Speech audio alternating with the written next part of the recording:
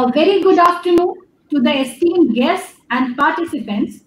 I, Dipakshi Joshi from Dr. Rajendra Prasad Law Institute, Kumaon University, Nainital, feeling highly honored to welcome you all in this online workshop on the topic Dimensional Issues and Challenges of Intellectual Property Rights. The topic we are addressing today is a fast-growing field and has a lot of interest from large number of lawyers, research scholars, academicians, corporates, and students. To throw some light on today's topic, I would like to quote Thomas Jefferson here. He who receives an idea from me receives instruction himself without lessening mine, as he who lights his taper at night receives light without darkening me.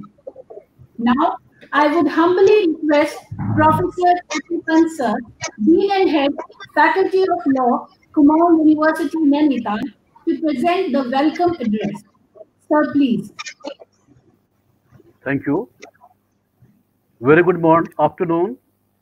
I would like to take this privilege to extend a very warm welcome to all the delegates and participants in this online workshop on dimensional issues and challenges of intellectual property rights organized by Dr. Rajendra Prasad Law Institute, Kumaon University, Nainital.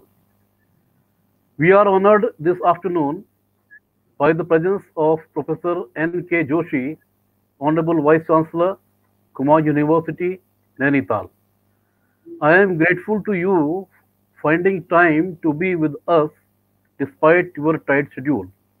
I welcome you, sir, from the core of my heart. It gives me immense pleasure to welcome Professor Raman Mittal, Professor in charge, Campus Law Center, University of Delhi. Professor Mittal is a scholar of international repute. He has extensive exposure in the areas of intellectual property and cyber laws. He will be enlightening us on today's theme that is dimensional issues and challenges of intellectual property rights. I extend very warm welcome to you, sir. I have another speaker this afternoon, Professor S. C. Roy, Dean, Research and Development and Director, Center for Innovation, Research and Facilitation in mm-hmm. Intellectual Property for Humanity and Development, Chanakya National Law University, Patna. He is internationally renowned and has very rich experience in creating awareness about the economic, social, and cultural benefits of intellectual property rights. I heartily welcome you, sir. I also welcome my senior colleague, Professor S. D. Sharma, Director, Dr. Rajendra Prasad Law Institute, Professor D. K. Bhatt, former Dean, Faculty of Law, Kumaon University, SSJ Campus, Almora, Professor J. S. Bisht, Professor A. K. My junior colleagues at SSJ Campus, Almora, my colleagues at Dr. Rajendra Prasad Law Institute, Nainital, students, participants, and Mr. Ravin Bist for his technical support. The National Intellectual Property Rights Policy very aptly states that the 21st century belongs to the knowledge era and this and is driven by knowledge economy. Coming decades are very, very crucial for India. The decision taken by Indian government yesterday to ban 59 Chinese apps has necessitated indigenous inventions and is a clear call for creative India, innovative India. That is Rasnatmak Bharat, Abhinav Bharat. Recent inventions from hand-free door openers to basic ventilators during COVID-19 pandemic have proved that necessity is the mother of invention and every invention needs IPR protection for being marketable financial asset. Our government has launched various schemes like Make in India, startups, MSME, etc. And it advocates vocal for local. Thus, this is the high time to discuss dimensional issues and challenges of India IPRs. I hope this workshop will be able to boost the local business ecosystem at the same time protecting public interest and traditional wisdoms. Thank you.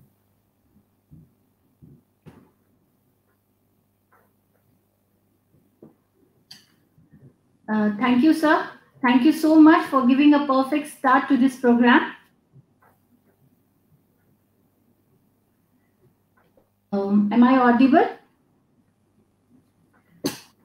I am profusely elated to invite Honorable Vice Chancellor, Kumaon University, Professor N.K. Joshi, sir, the man of distinct vision and the fountainhead of illuminating ideas, an idol of knowledge and experience and inspiration to all of us. The topic of today's workshop has also been suggested by him. Your words of wisdom have always enlightened us and have strengthened our steps. I request Professor S.D. Sharma sir, Director Dr. Rajendra Prasad Law Institute to kindly present the message of Honorable Vice Chancellor Professor N.K. Joshi sir. Sir, please. Good afternoon to all the participants, resource persons from Delhi University, Professor Raman Mittalji, Professor S.C. Roy from National Law University, Patna, and uh, the organizing team, Director Technical Support, Dean Faculty of Law, Professor A.K. Pant, and uh, former Dean, Professor D.K. Bhatji, our senior colleagues of Faculty of Law, Kumaon University, including Professor J.S. Best and uh, Professor A.K. Naveen, uh, Dr. D.P. Yadav, Arshad Hussain ji, uh, Dr. Uh, Dalip uh, Lal ji, and uh, the other participants, students of Kumaon University, National Law University, and other universities, and uh, esteemed uh, guests from different corner of India. The Vice Chancellor had sent the message early in the morning that to communicate my message and good message to all the participants, including the organizing team, as he has said that I have to know that Dr. Rajendra Prasad Law Institute, Kumaon University in Nainital is organizing a workshop on dimensional issues and challenges of intellectual property rights. My best wishes to the all participants of the workshop and welcome to resource person Professor Raman Mittal, uh, Professor in charge of Delhi University, Professor S.C. Rai, Dean, National Law University, Chanakya, Professor S.D. Sharma, Professor A.K. Pant, Dean and Head, Faculty of Law, Kumaon University, Professor D.K. Bhatt, former Dean, and all faculty members of the Kumaon University. Whole organizing team, including the Director Technical Support, Mr. Ravi S. Best, and my congratulations to all the team and deserve to be commended for organizing such a wonderful workshop. I extend my best wishes for the success of the one day online workshop. This is the message of Honorable Vice Chancellor.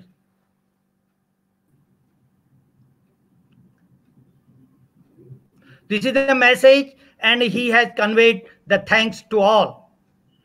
Thank you, sir. Thank you so much uh, for always motivating and initiating such programs. Now it's time for theme introduction.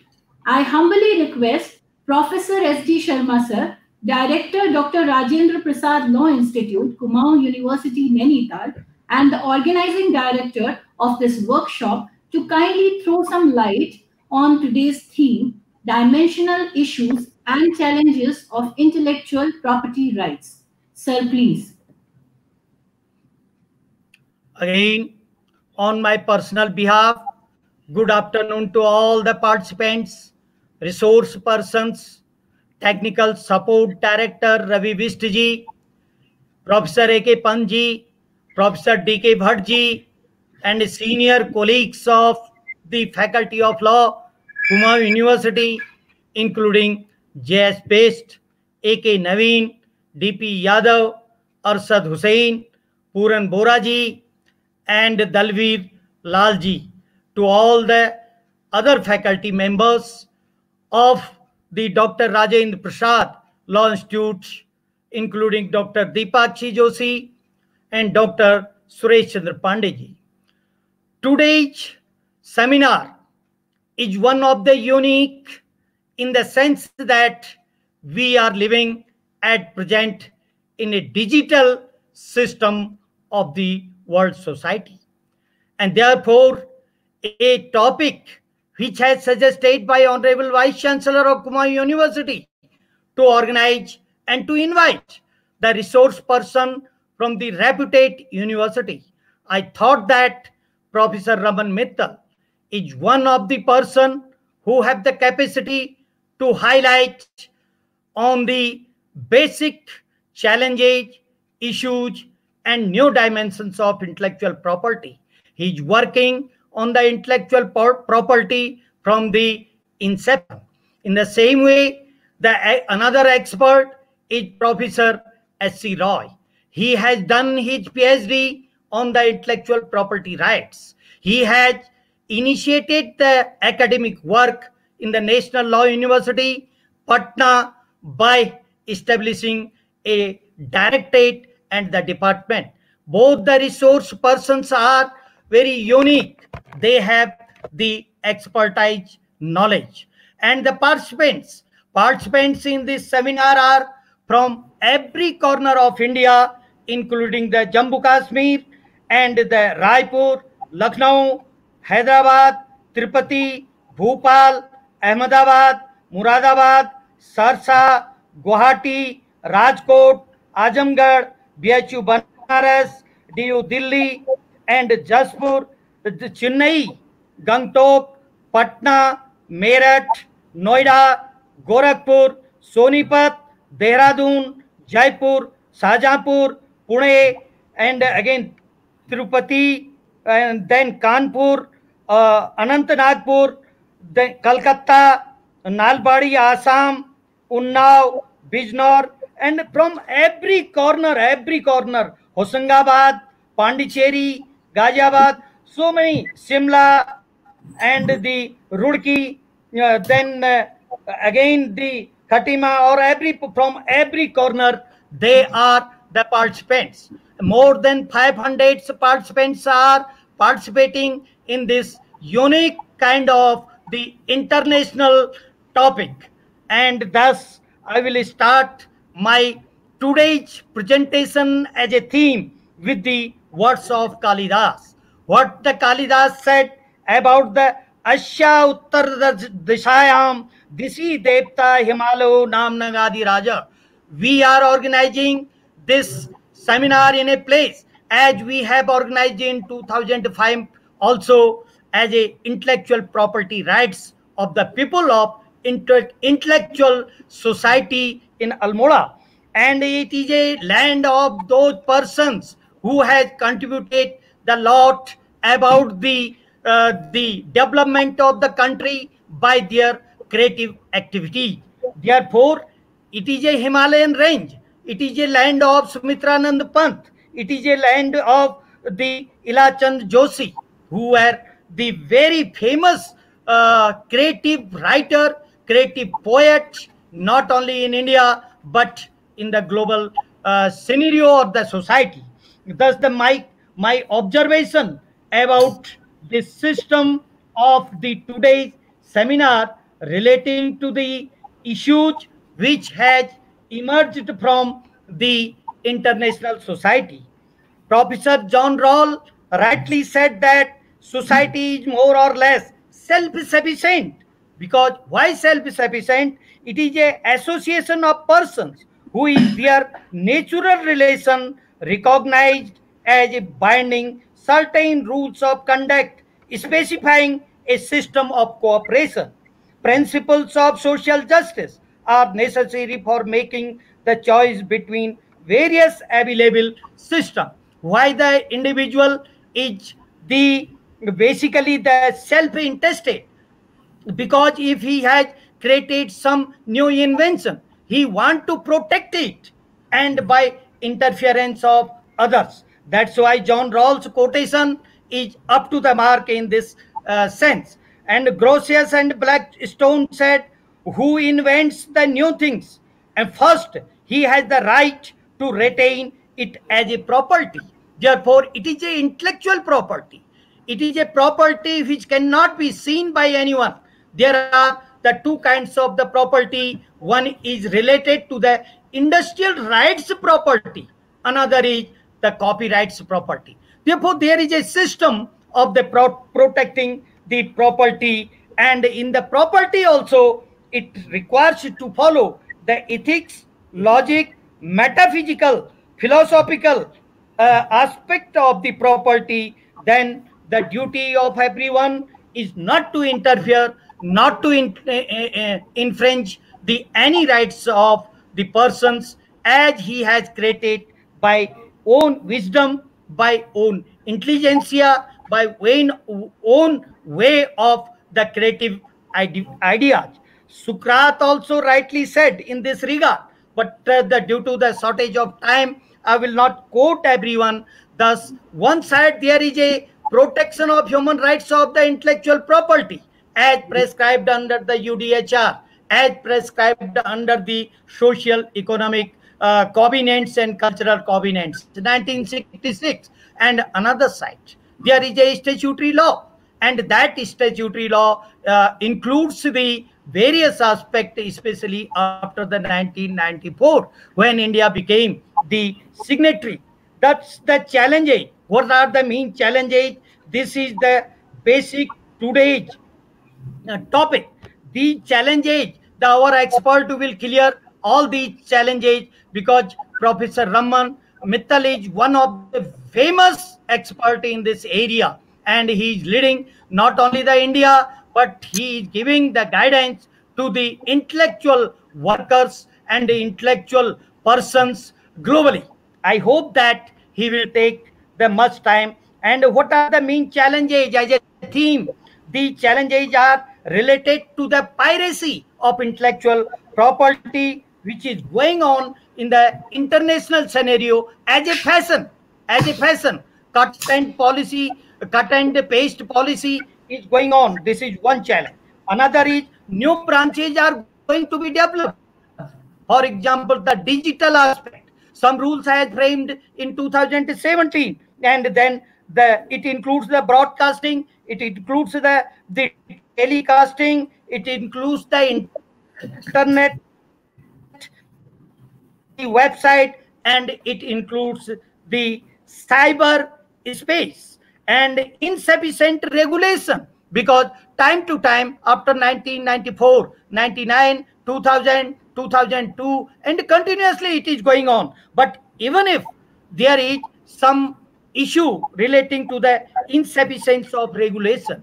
Because some are the some uh, infringement of the intellectual property rights are uh, criminal as well as the civil. But some are only the civil. There is no remedy for that. Then lack of awareness in respect of ipr in india there is a lot, lot of the lack of awareness. No one is aware about the intellectual property rights. The persons only those persons are aware who are working in the commercial field. They may be the businessmen they may be using the trademark and they may be but farmers right? It is codified. But the farmers are not aware about their rights also. Therefore lack of the awareness is another challenge. And lack of the uh, the efficient application control of the re regulation. This is continuously coming on because of this international the international website access of the internet. Everyone is uh, near to each one, and uh, this can be only uh, solved by those uh, regulations which have the power to competent legislature. Our uh, the expert will focus on these points. Therefore, I am in full confidence that they will not start from only the uh, the GATT agreement. They will not start from the WIPO. They will not go on only of this uh, WPPT, WCT, and other areas uh, of the TRIPS agreement, but they will practically uh, solve the issue which the public at present is facing. The industries are very much aware about their rights, but the intellectual mass who are working in the academic field, they are not aware about this system. Therefore, what mechanism shall be developed in the future? Some other aspects are also there to avoid the, the this uh, infringement of this uh, intellectual property right. One is the industrial right, another, as I have pointed out, the copyright. To advise Indian IP right expert first, first of all, to take the advice of all these things. But these are there are 20 and some more than that. Uh, I will not uh, take much time because we are eager to, to listen our expert, especially Professor Mittal, because Professor Subhas is uh, facing some problem to join this uh, uh, uh, webinar or workshop. Therefore, my request is not only 40 minutes eh, we are allotting, allotting or we are requesting to our esteemed expert, whatever time he will take, we will uh, uh, we will very much interest to hear Professor uh. Thank you very much. Once again, welcome to all and every participants every participants from every corner he may be professor he may be academician he may be social worker he may be student and he may be the industrialist or he may be a government employee he may be a, another person media person welcome to all in this special kind of uh, webinar because we are getting this opportunity to listen to our esteemed expert in this area who is sitting uh, in Delhi, where uh, at present there is a problem, but he is expressing the views uh, within this every corner of global society, not in India. Thank you very much, sir. And uh, we are grateful. We have uh, joined us, and uh, our participants will benefit it by your expertise knowledge. Thank you. Thank you, sir, for the brief and valuable introduction of the topic. I deem it a great honor and privilege to introduce our speaker, Professor Raman Mittal, sir, Dean, Faculty of Law, University of Delhi, an eminent scholar and academician with specialization in intellectual property law, law of contract, and cyber law.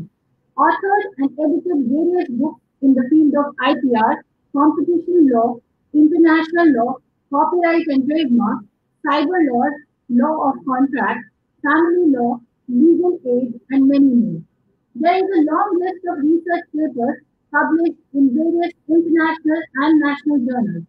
He has delivered lectures to the officials of judicial services at Delhi Judicial Academy and also the officials of public administration time to time. He has undertaken various research projects and thereby contributed in the policy making of the central government.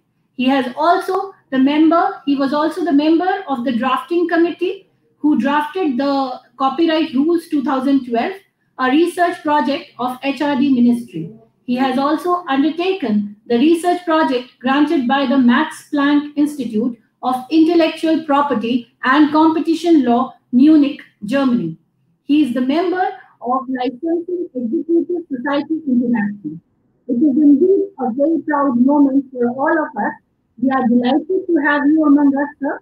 We thank you for your kind presence there. Now I humbly request you, sir, to share the views on the topic of this virtual workshop. Okay, thank you very much. And uh, Honorable Professor N.K. N.K. Joshi, Vice Chancellor, Professor A.K. Pant, Professor S.C. Roy, Professor D.K. Bhatt, Professor S.D. Sharma, Mr. Ravindra Bisht, Dr. Dipankshi Joshi, and Mr. S Dr. Suresh Pandey. It is um a really proud privilege for me to be able to address the gathering here. And um, for that, I would like to start my presentation. And with your permission, let me proceed to share the screen. Sir, please. Okay, is the screen visible to you now with my presentation? Uh, no. Is the screen visible? No, not right now. Not really. No. Now, Uh, now, yeah, yeah, it's it's visible, sir. It's visible. it's visible. Okay, if I make it full screen, just tell me if it is visible now. Is it visible? Yes, sir. Yes, sir. Okay, so I would like to speak on the topic of the day that is dimensional issues and challenges of intellectual property rights. So I'm really grateful to you for to the organizers for inviting me to this webinar. Okay, so we'll be talking about intellectual property. We'll be particularly talking about the origin, development, scope, and relevance of intellectual property. Now, I'll start with a question. If we have three circles with us, one circle is known as law, the other is known as property, and the third one is known as intellectual property. How would you like to draw so all these three circles so that the relationship between these three concepts becomes clear? So just try for a moment. And according to me, the relationship is something like this. Law is the widest circle within which is a smaller circle called property, and within which there's a still smaller circle called intellectual property. Now, this relationship I wanted to draw in the very beginning so as to make things in the right perspective. Okay, so this is the kind of nature that man encountered when man first stepped on the planet Earth. He must have been something like this. I want all of us to imagine what would have been the life like in those days. We all can imagine, and we can learn from one of the greatest jurists at that time. The question before, the first question before him, before man was preservation. He somehow wanted to preserve himself. And then, after he had secured the preservation, he moved towards player and then towards power. This has been the journey of mankind. And what was the life like that at that time? In the words of Thomas Hobbes, life at that time was isolated, poor, nasty, brutish, and short. Do we really agree? Was it isolated? Yes. Was it poor? Yes, poor in the sense that the gadgets that we have today, the kind of things that we have today, were not available at that time. Nasty and brutish, really. Nasty and brutish because all the skeletons that we have found from those days gone by, the age of those persons were not more than 40 to 45 years. That means once the man was past his peak, nature did not at that time permit him to survive. Therefore, it was short. So man, man wanted to change everything. So how did man change? Man changed it by making law. So there we come to the origin of law. Now, what was the first law? I would like to ask a question or pose a question to the audience. What was the first law that was made by man? If we all agree that we as human beings are the masters of our law, we made our own law and we still make our own law for ourselves, then we must have started somewhere. There must have been some law with which we, we had started. What was that first law? So, this question has mesmerized the jurists over millennia. Various philosophers have opined on this. What is our take on it? I would like to quote here one of the greatest jurists of all times, Jeremy Bentham. In his book on laws and morals, he writes, he tries to respond to this question indirectly. What he says is, law and property were born together and they die together. Now, this small statement, we can find answers to some of the questions, some of the fundamental questions. I repeat his statement. He said, Law and property are born together and they die together. What does this mean? Law and property are born together. That means he wanted to say property was the first law that made by that was made by man and they died together that means property would be the last law to be disband, disbanded by man. So man is the creator of law, and the first law to be created by mankind was property law. This shows how dear property is to us. And at the same time, he would say, he said that property would be the last law to survive. When law is disintegrating, property will be the last one to go. So that shows the importance of property, and that really shows the importance of intellectual property because which is the one of the latest additions to the kitty of property. Now the next question is that I have posed is when did we make the first law? When we agree that we are the makers of a law, then we must have started somewhere. We must have started sometime. What was that time? So we say that law is responsive in nature. That means it is a response to some problem, some challenge that is encountered by mankind. Now, what was the challenge? The challenge was that there must have been so many quarrels. For example, I, let me pose another question here. Suppose there was a man at that time, a man like Mr. A, who is apparent here, he was hungry. He got hold of a rabbit. He ran fast, got hold of a rabbit, killed it, and was about to eat it up. That somebody else, another man, came by and snatched the rabbit from this man, Mr. A. Mr. B came and he tried to snatch the rabbit from him. Now the question is the rabbit belongs to whom? The dispute must have arisen like that. So the answer, what is the answer? What is your answer? According to nature, the rabbit belongs to B because he has been able to snatch it away from A. Might is right for nature. So what would happen? There would have been a fight between A and B in which either both of them would be injured or one of them could be injured or one of them could have died also, right? A could have been fatally injured too. So we wanted to avoid it. One day we thought enough of it. So we wanted a journey towards lawmaking, and we made a norm that because A has expanded labor and he had the skill to catch rabbits, therefore the rabbit must belong to him. Well, there's a counter argument by B also. B says, well, if he had the capacity, the capability to catch a rabbit, I have the capability, I have the skill, I have the talent to snatch away the rabbit from A. Why are you protecting A's talent and not mine? But then that is the choice that law had to make. And somewhere back, law made that choice that rabbit belonged to A. So this is the progenitor of all property law. And the question is again extremely relevant in the domain of intellectual property, which we shall be seeing. Now, why did we, next question is, why did we make the first law? After having seen what was the first law and when did we make the first law, why did we make the first law? Precisely to avoid conflicts or and to resolve conflicts and disputes. Okay, so let us now talk about the origin and development of intellectual property. Today, intellectual property contains patents, trademarks, copyrights, designs, confidential information, etc., etc. Now, all these tools of intellectual property had separate origin.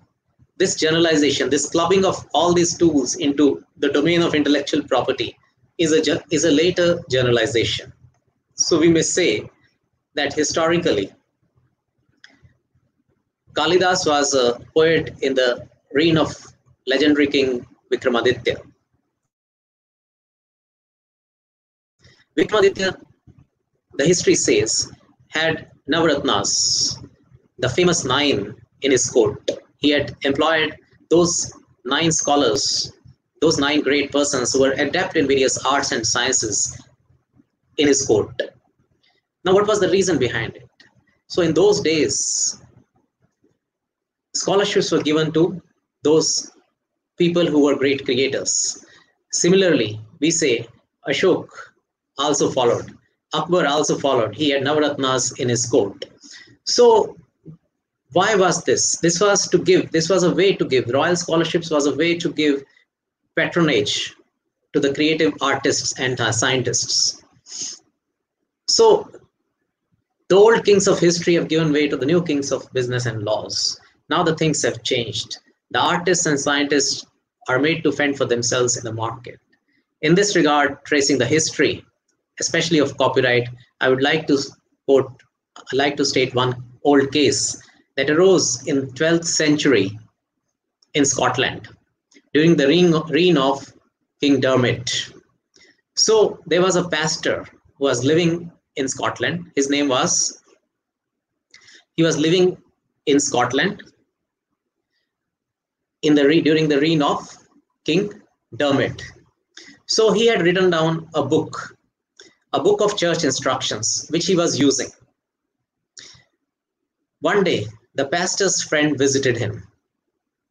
He saw the book and he wanted to borrow the book.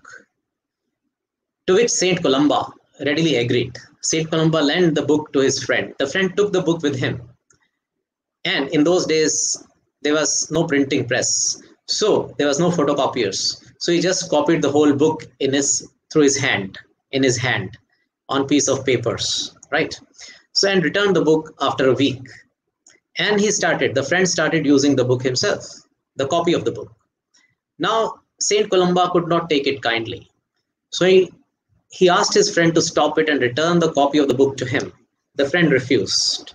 Saint Columba took the matter to the court, the court of King Dermot. Now, King Dermot had a unique problem because there was nothing like copyright law written at that time. There was no concept of copyright law, I mean, in the written form or in the form in which we have it today. So, in order to solve this problem and decide this case, he drew an analogy. He gave an example of a cow. He said, Let us imagine that Saint Columba had a cow and it, his friend was visiting and he wanted to borrow the cow. And Saint Columba had lent his cow to his friend. When the cow was with a friend, the cow gave birth to a calf. Now the king framed the question. He said, My question is, the calf belongs to whom? So, after framing the question, the king himself sought to answer this question. He said, The calf belongs to the cow. And because the cow belongs to Saint Columba, the calf must also belong to Saint Columba and ordered. And in the same way, he said the copy of a book is like the baby of a book. And if the book belongs to Saint Columba, the copy of it must also belong to Saint Columba and ordered his friend to return the copy to Saint Columba. So we see that it, at those times, there was nothing like written copyright law, but it was always there in the consciousness of mankind. Today, if we have to decide the same case, we would precisely decide in the same manner. That gives legitimacy to the theories of copyright law. Then we have, if we see the domain of copyright, the first statutory expression, copyright found in 1710 during the reign of Queen Anne. What was the problem at that time? Because printing press, Gutenberg invented printing, printing press in Germany and it took about 100 or 200 years for the printing press to become popular around Europe. So when printing press was there, then what happened? Any book that was printed and brought to the market, anybody could buy the book from the market, start printing it at his own place with the help of printing press, and then start marketing the book. And thereby he would be in competition with the first publisher and author. Therefore, authors and publishers they approached the queen and said that this is patently unfair. The Queen agreed and enacted the first copyright law, that the first statutory expression of copyright law, which is known as the Statute of Anne in 1710.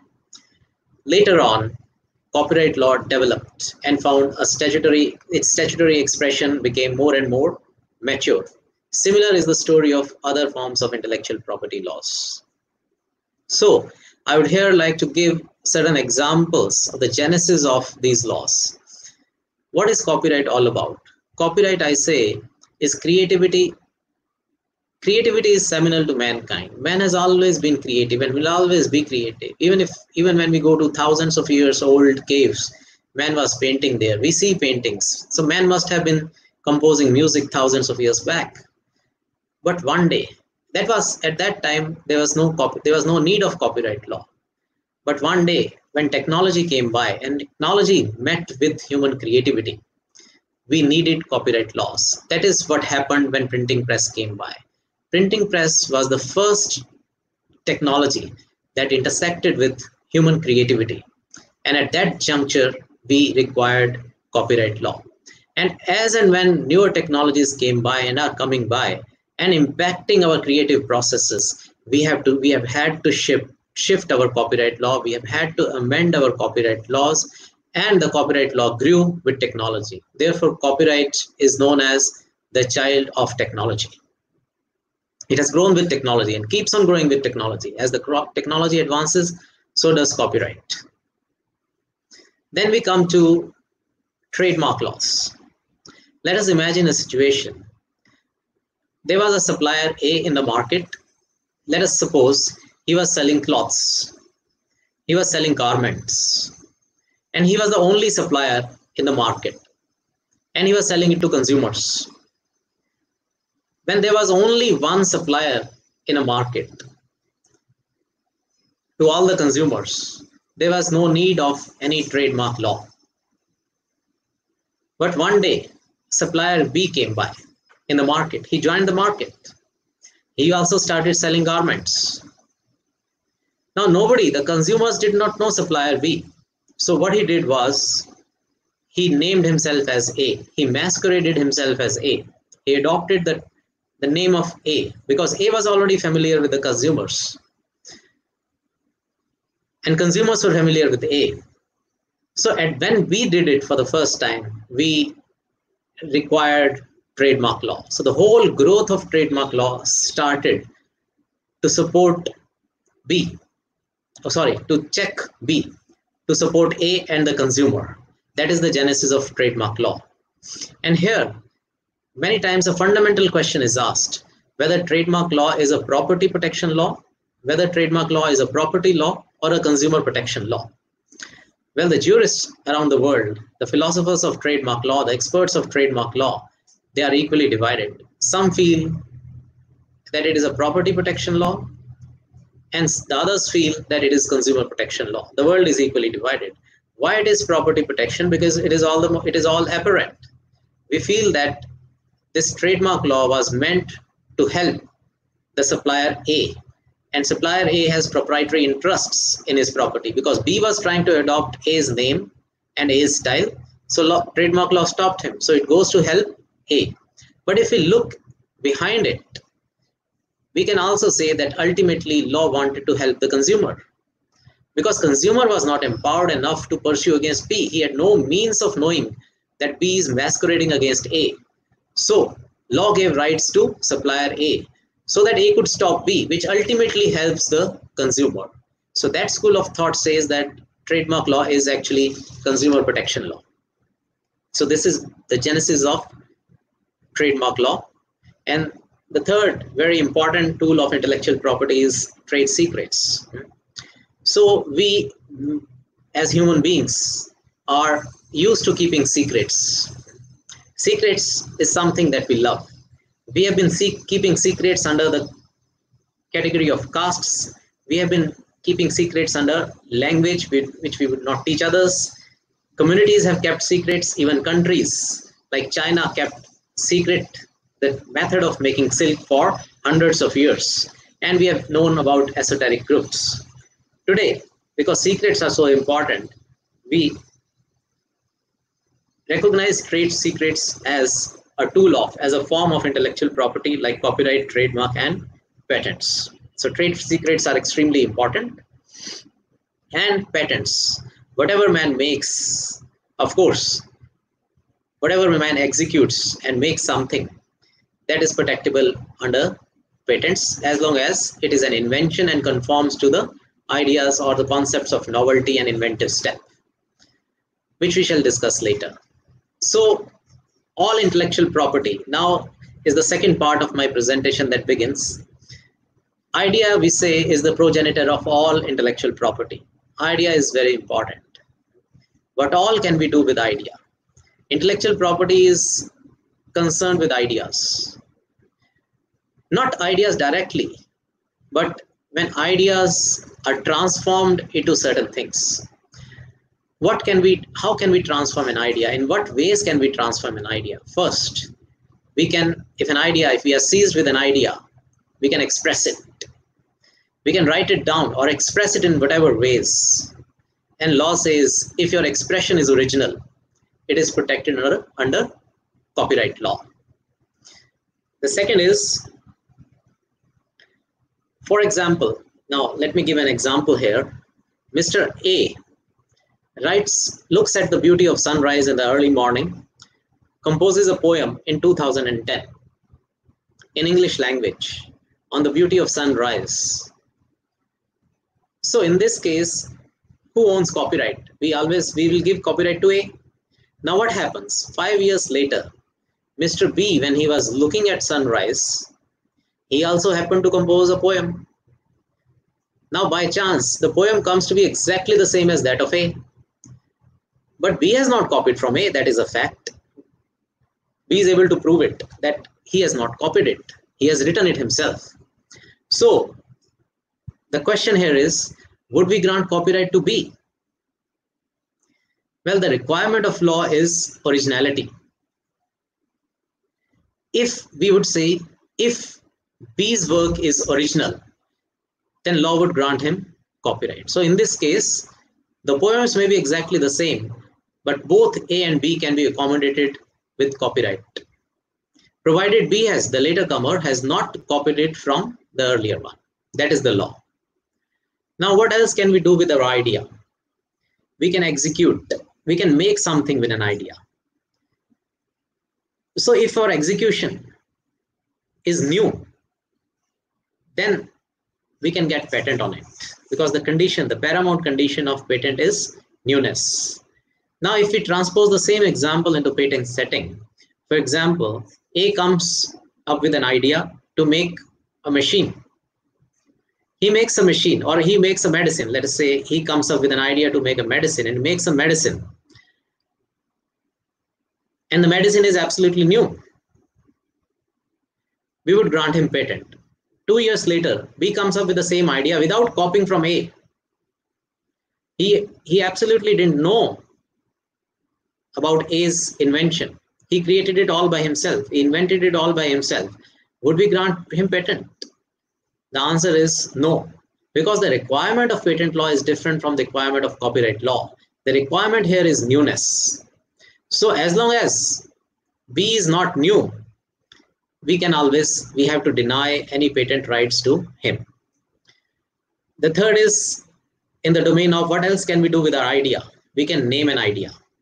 If we are seized with an idea, for example, I want to do business in garments. So I give the name to that idea as X.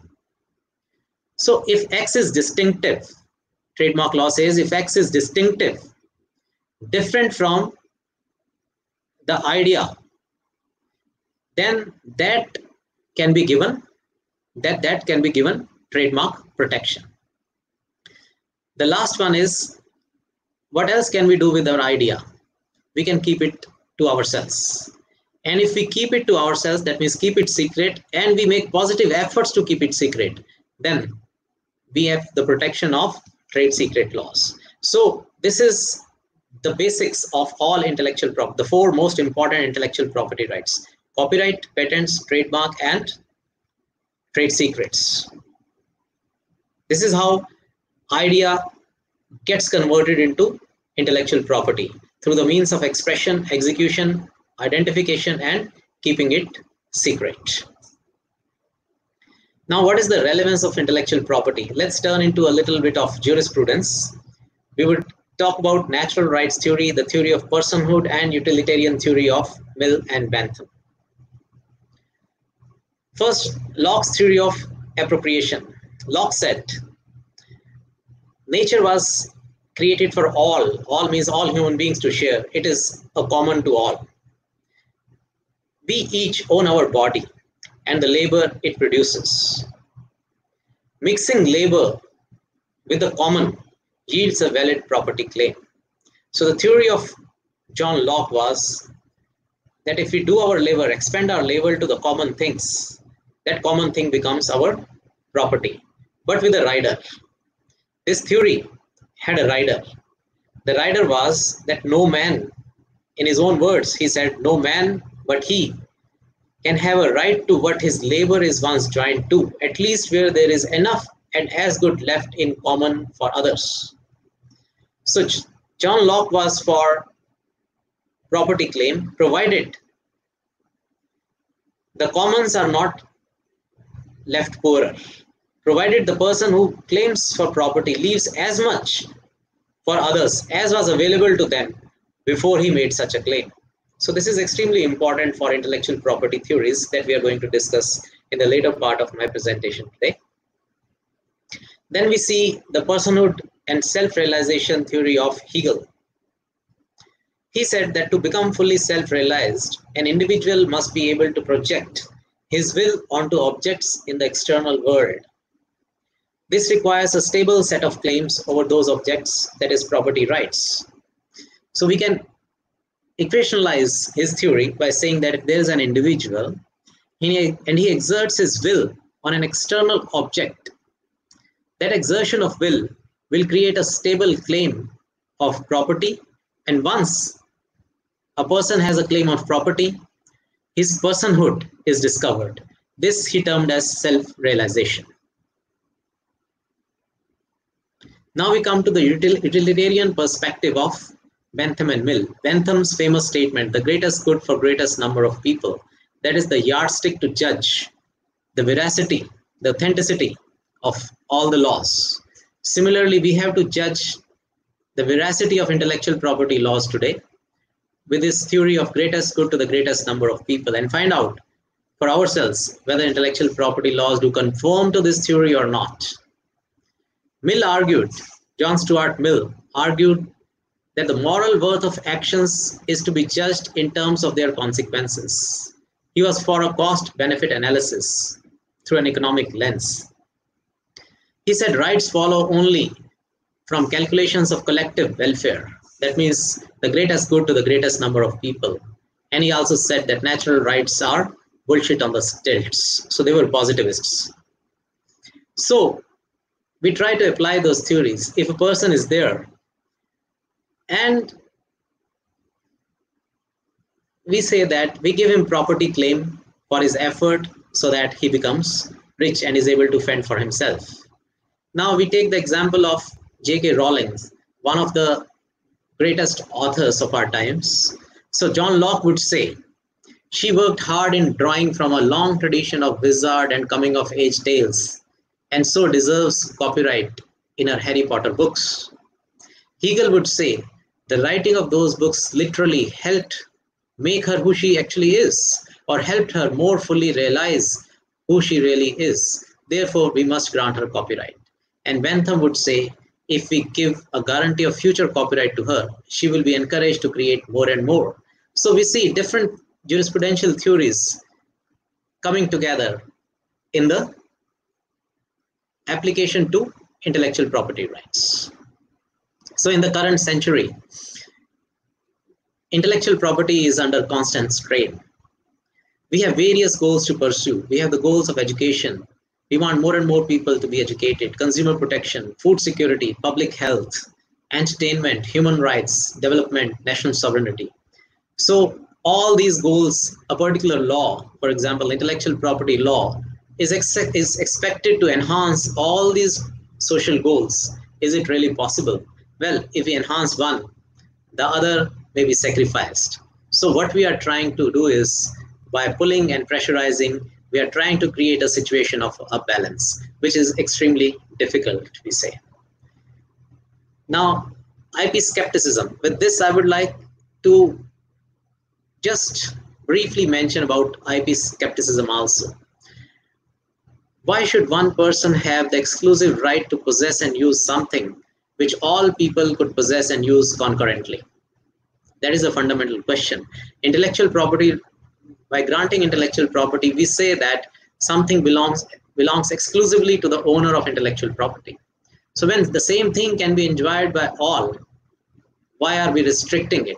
Stealing a physical object involves depriving someone of the object taken, whereas taking an intellectual property deprives the owner neither of possession nor of the use of that object. For example, if I have a car, how many persons can I invite in the car? Maybe four, four more persons, or five more persons, or six, maybe depending upon the size of the car. But if I have a book, say a digital book, how many people can I invite to read the book? Limitless. So, the skepticism of intellectual property says that when it is physically possible to distribute intellectual property to all, why do we have such laws? So there is a point in this theory also, which we shall discuss. Intellectual property, they say, needlessly give higher prices to consumers. And further argument for this skepticism is that new inventions are always dependent on some extent or existing knowledge. Even one of the greatest or the greatest scientists that the world has ever known, Isaac Newton, is known to have commented that if I have seen further than others, it is because I have been standing on the shoulders of giants. So he acknowledged those scientists who came before him. So this theory says that why do we grant intellectual property at all when the creative activity has de- is dependent upon the previously created works, right? So we have to be mindful of these theories when we come to deciding complex questions of law. Now, I would also like to highlight uh, the interface between human rights and intellectual property rights.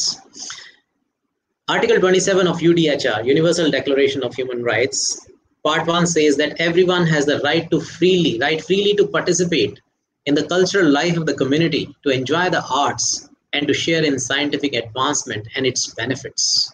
So what does it mean if we apply this to intellectual property? That means everybody has a right to share in the scientific advancement, in the creative activity.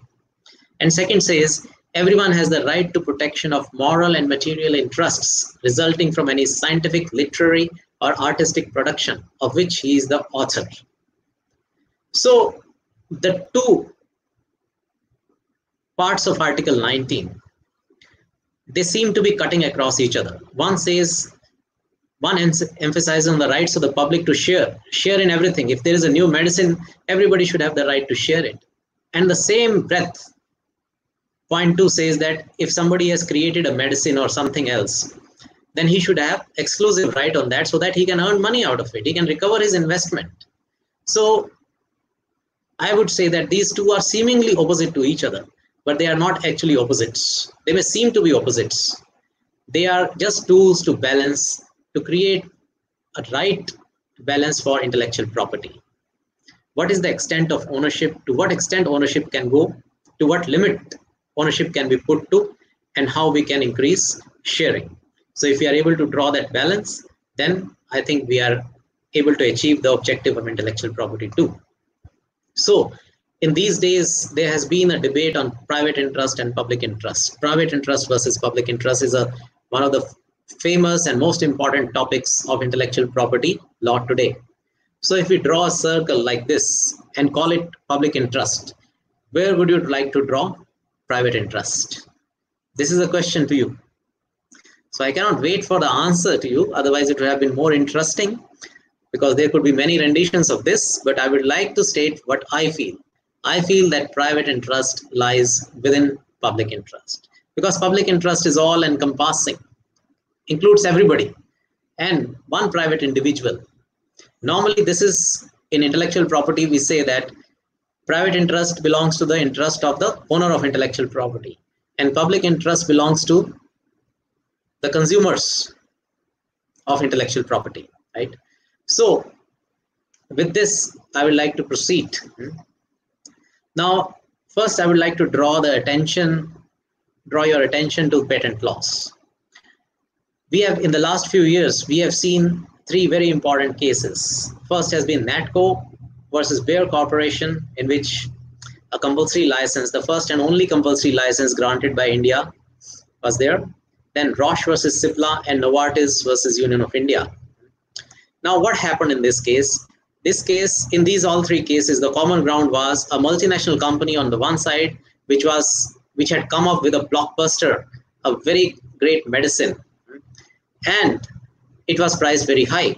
In Indian context, it was priced, say, for example, for a month's dosage, you require a couple of lakh rupees. So the question arose in this country, how many people can actually afford such medicines? What is the relevance of these medicine in Indian parlance, right? Therefore, the courts were proactive and what they did was applying the various doctrines of law, for example, applying compulsory licensing and interpretation of section 3d of the patents act the court declined them their patent rights, the three multinational companies. Now this created a very a great uproar in the international market that how can India do it? And it also presents on the one side we have a public interest argument on which the court was riding, but we have the other argument as well. So let us see the other argument too to balance the two. For example, how drugs are made for example, today the whole world is suffering from COVID 19. We are frantically searching for a drug. Now imagine tomorrow somebody comes up with a drug. Then we will expect him to give the drug. For example, that person keeps a, a big price for the drug. He says that, well, I have invested so much of money in experiments. I have put everything to, on this. So I should be allowed to earn money now. Now then if the whole world comes up and says that no no we need it and we need it cheap we cannot allow you to make that much money so who is right in this situation and who is wrong if today we say that nobody will be able to earn from covid-19 vaccine or medicine that comes by then people may not be encouraged to invest in so much of research because that is costly that is time consuming right especially we see that first in order to cure something let us take the example of a disease in order to cure something, in order to make a medicine, we know the disease, but we do not know the medicine. So somebody has to come up with an idea of making the making the medicine, and then he has to proceed into various directions. So he has to do due diligence and experiments in various ways. And many, most of the experiments, if the person, if the person who is tasked with taken up the task to invent a medicine, he goes into 20 different paths of creating the medicine. Maybe in 19 he would fail so all that investment will be lost investment. Only in one he might succeed. So he takes the risk. He does all the experimentation. And after being successful, it goes into the testing phase. First, it has to be tested on in, in the laboratory. Then it has to be tested on animals. Then it has to be tested on human beings. And then he has to approve, get approvals, including marketing approvals. With all this, once he comes to the market, then a generic manufacturer comes up he says, well, I can make the medicine cheaper than you.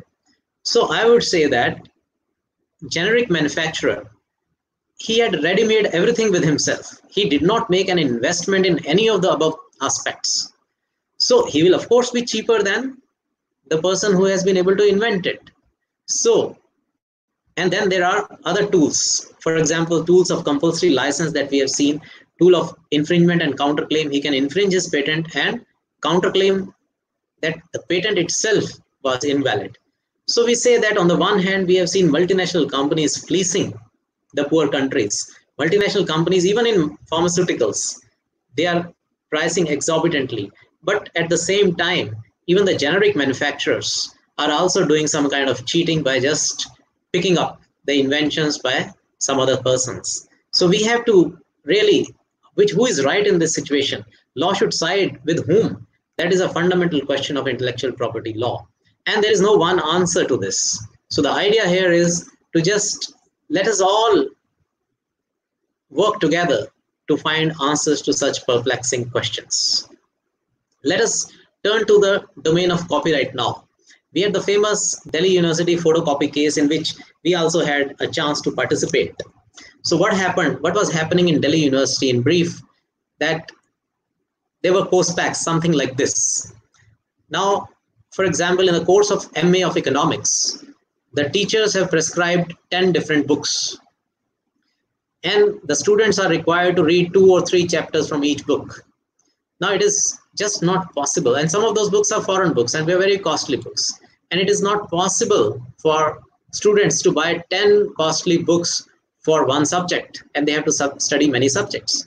So what was happening in Delhi University was that there was a photocopy shop inside Delhi School of Economics. We are just taking the example of economics, but the same is applicable elsewhere as well. So he would note that what the professors have prescribed. So he would photocopy those on those very chapters from different books and make course packs. And those course packs, then he would photocopy. For example, he knows there are so many students in MA course, and all of them would come to buy those course packs. He would make them already before the session starts and it was very easy it was practical and affordable for the student so a 300 page course pack would cost something like 200 rupees so this was happening so the publishers filed a suit for copyright infringement saying that the, photocopy guy and delhi university have infringed the copyright of those publishers. So the issue was we know section 40 14 of copyright act exhaustively lists various rights. And section 52 grants those exceptions to rights. It's fair dealing exceptions. So the question before the court was whether the making of course packs by delhi university photocopy shop falls within 14 or within 52 if it falls within 52 then of course it is not a wrong it is not copyright infringement but it falls into the white portion of 14, then of course it is copyright infringement. And that is what precisely the case was, right? Now, section 52 1I of the Copyright Act, which is about fair dealing, it says a fair dealing in reproduction of any work by a teacher or pupil in the course of instruction. So all that we had to demonstrate before the court was that these course packs are covered within this expression, the reproduction of any work by a teacher or pupil in the course of instruction, in the course of instruction. So at the outset, we drew this chart and presented it to the court. We said that the exemption is only through the expression course of instruction. Now, course of instruction is comprised of two words, instruction and course. Instruction means teaching and education.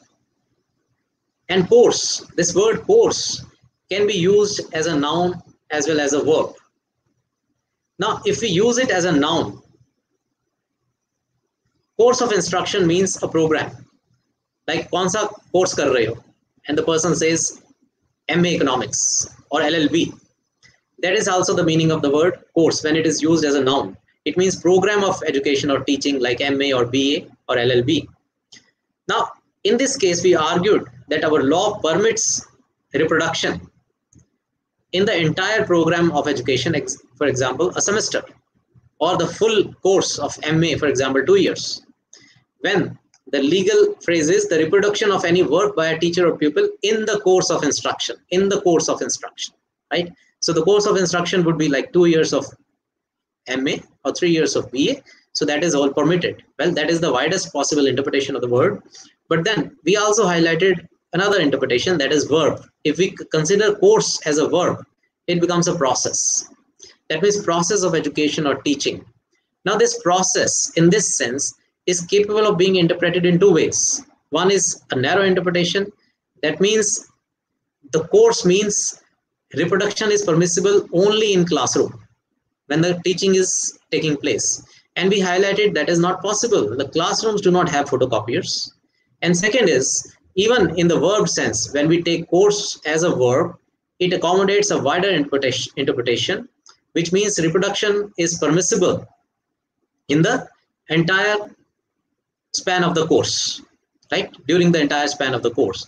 So we demonstrated to the court that this expression course of instruction There are two wider interpretations possible and one narrow. And the narrow interpretation is totally impractical. So if we choose wider interpretation, then the practice of photocopying that is going on in Delhi University becomes legal. And the court, the High Court of Delhi, sided with us completely and agreed with us. All right. Therefore, the new jurisprudence of in copyright law emerged, and this is a very path-breaking case. And because we have a paucity of time, so I wanted to discuss parallel importation, so I skip that. And um, uh, or please let me know how much time do I have? So we have uh, 10 minutes more. How much? 10 minutes more because uh, we have another speaker as well. Yeah, yeah, okay, so okay. All right, all right. So, so I won't like to impinge on his time. So I like to finish early.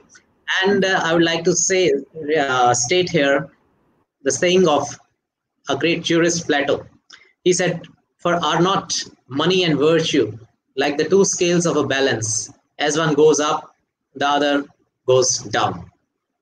Aristotle regarded the institution of property as indestructible and ultimately a positive force.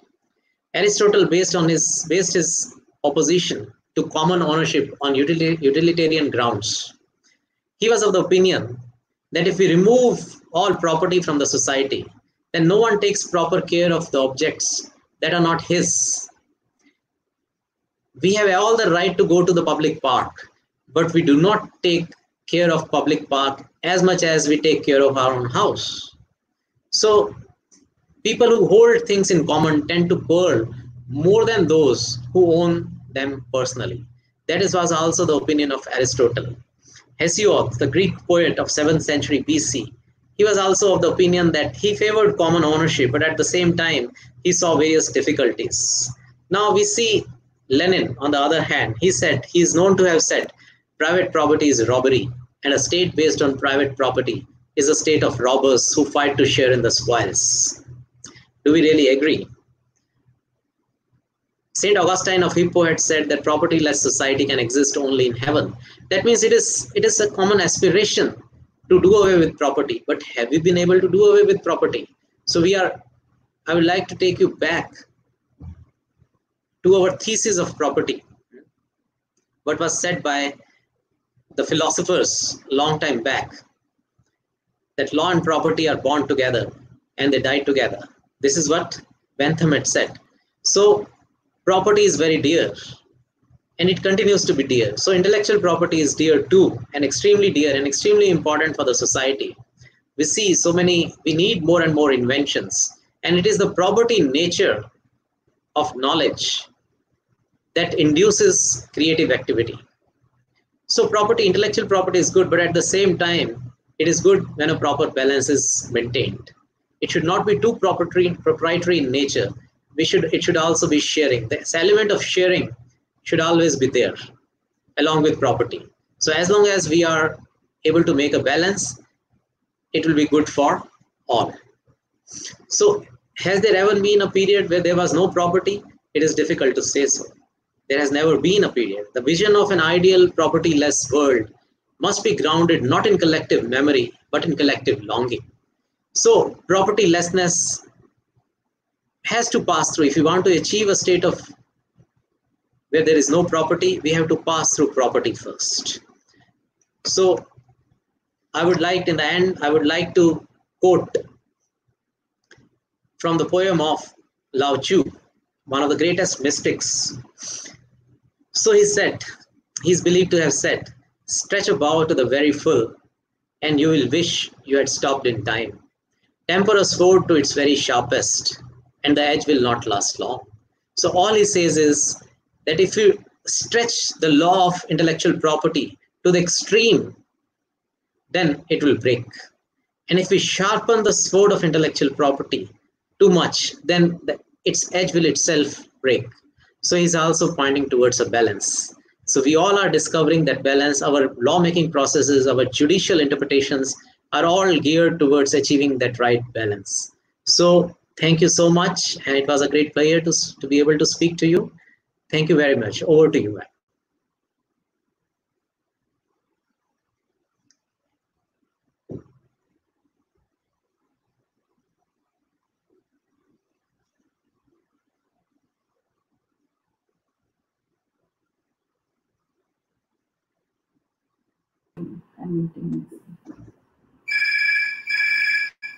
Thank you, sir. Thank you so much for such an informative and rich session.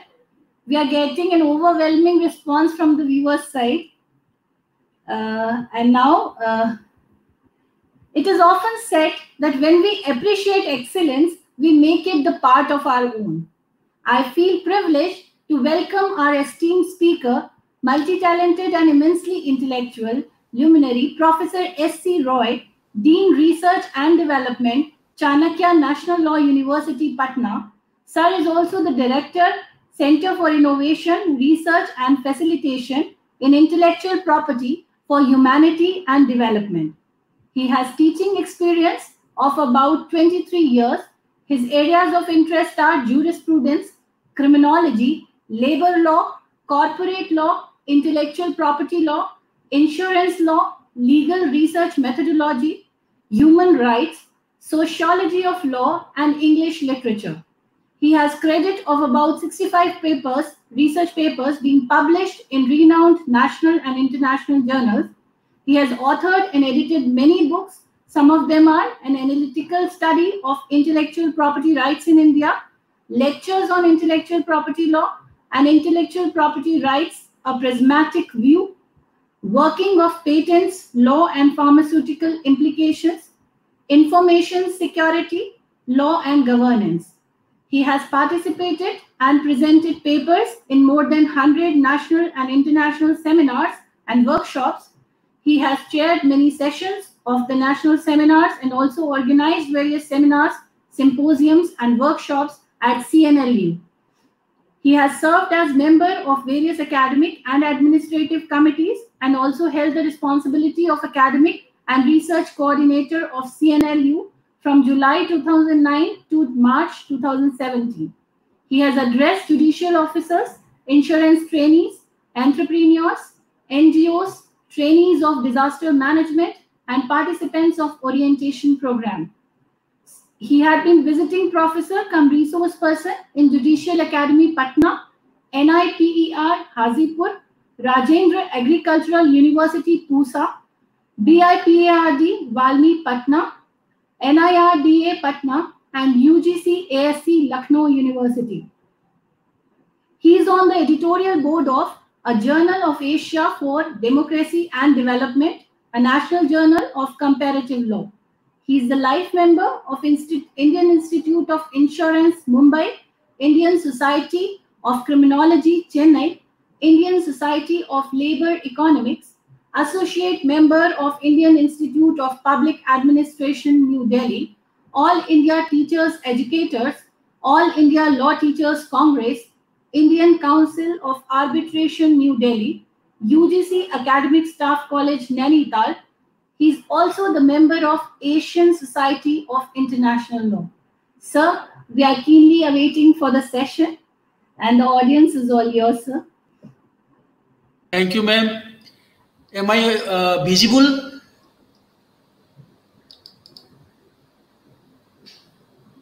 Am I visible and audible?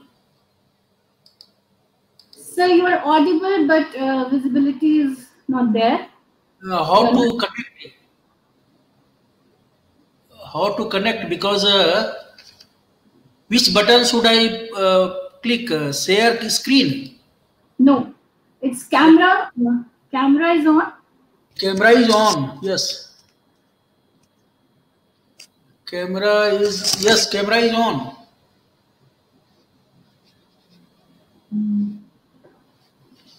Camera is on. Okay. Uh, please, sir. Is there? Uh, I think there is a technical problem. Yeah, yeah. I am calling some my colleague. He will do it. Ravi, sir, please. Uh, Camera is on, but uh, it is not working. Just a minute. yes. Sir.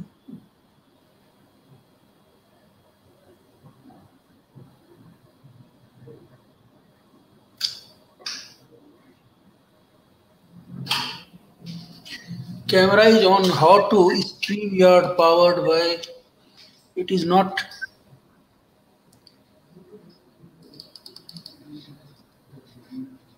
just a minute i am calling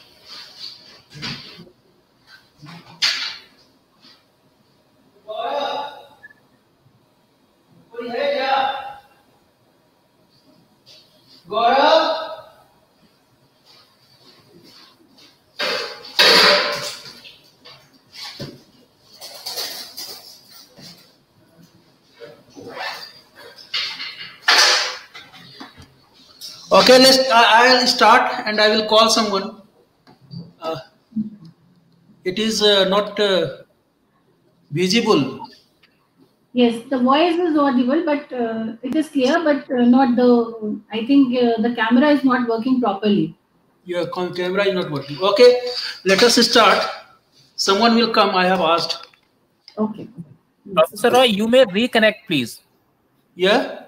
You may reconnect first of all disconnect it and reconnect. And after connecting just allow your camera and mic accept. Okay let us uh, huh. then i will have to call first.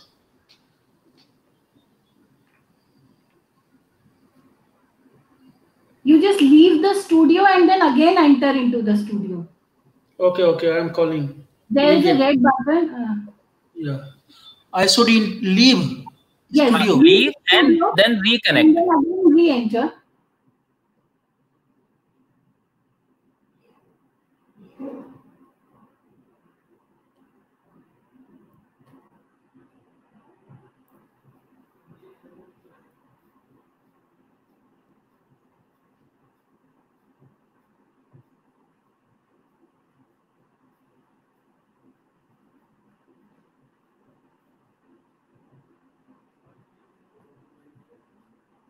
celular.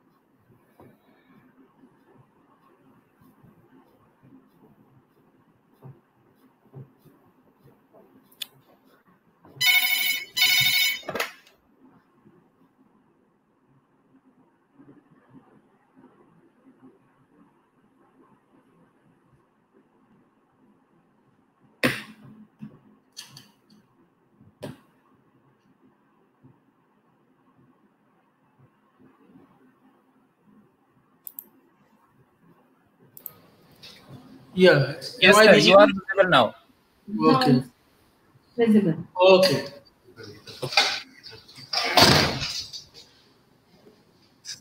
Namaskar. Yeah, namaskar, namaskar.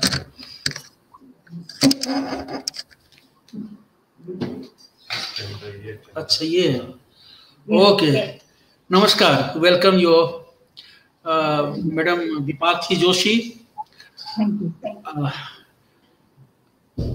Sir camera थोड़ा सा नीचे कैमरे को थोड़ा सा नीचे hello कैमरे को थोड़ा सा एडजस्ट नीचे को कर लीजिए। थोड़ा सा स्लाइड डाउन कर लीजिए प्लीज़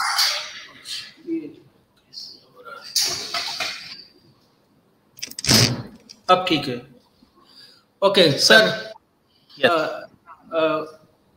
S D Sharma साहब को प्रणाम डी के भट्ट सर को मेरा नमस्कार sir thanks in the very beginning that you have given me opportunity and dipakshi ma'am also sir from where uh, professor raman mittal has left our discussion i will start from there as the topic of this workshop is dimensional issues and challenges of intellectual property rights we are fortunate uh, uh, to one person i think that Dunkel, as in the Uruguay round of GATT, Dunkel's proposal was in great, uh, was in news.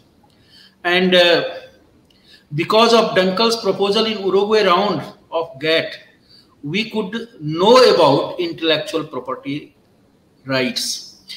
Before that, very few of us were knowing what intellectual property is.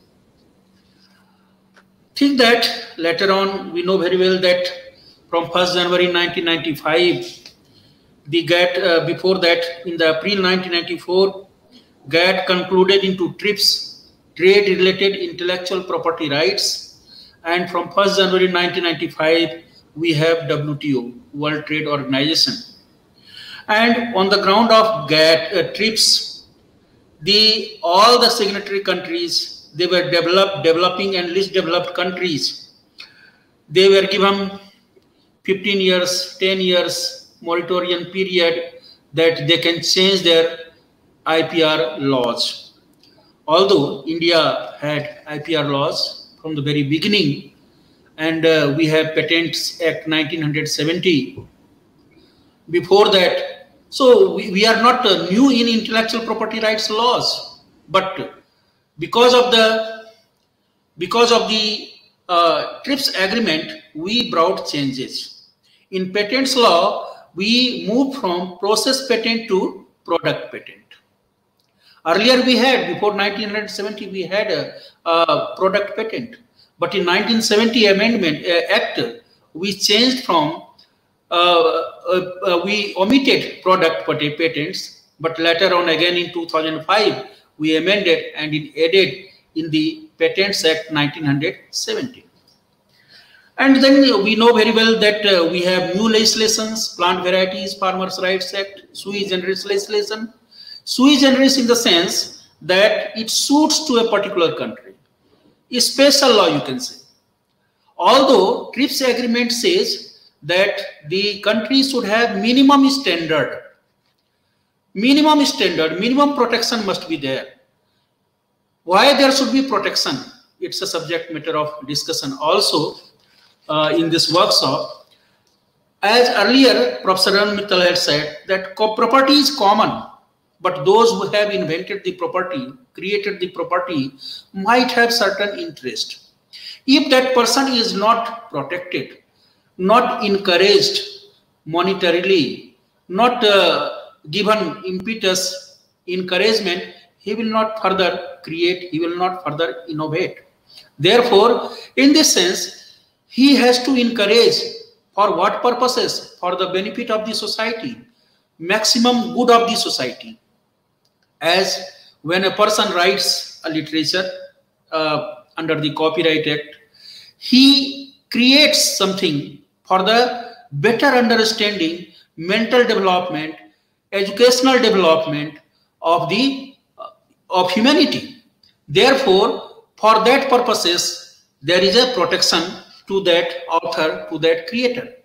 At the same time, in the patents, a person who is inventing something, he is giving labor, skill, and judgment, and in this way, he invests his time, mind, and energy. And naturally, if there is a certain asset intellectually after the idea is invested and created, asset, then he is the owner of that property. He must be given protection. Otherwise, he will not be encouraged and new things will not come in the society in the market and people will not be benefited. So encouragement pro protection is given for encouragement.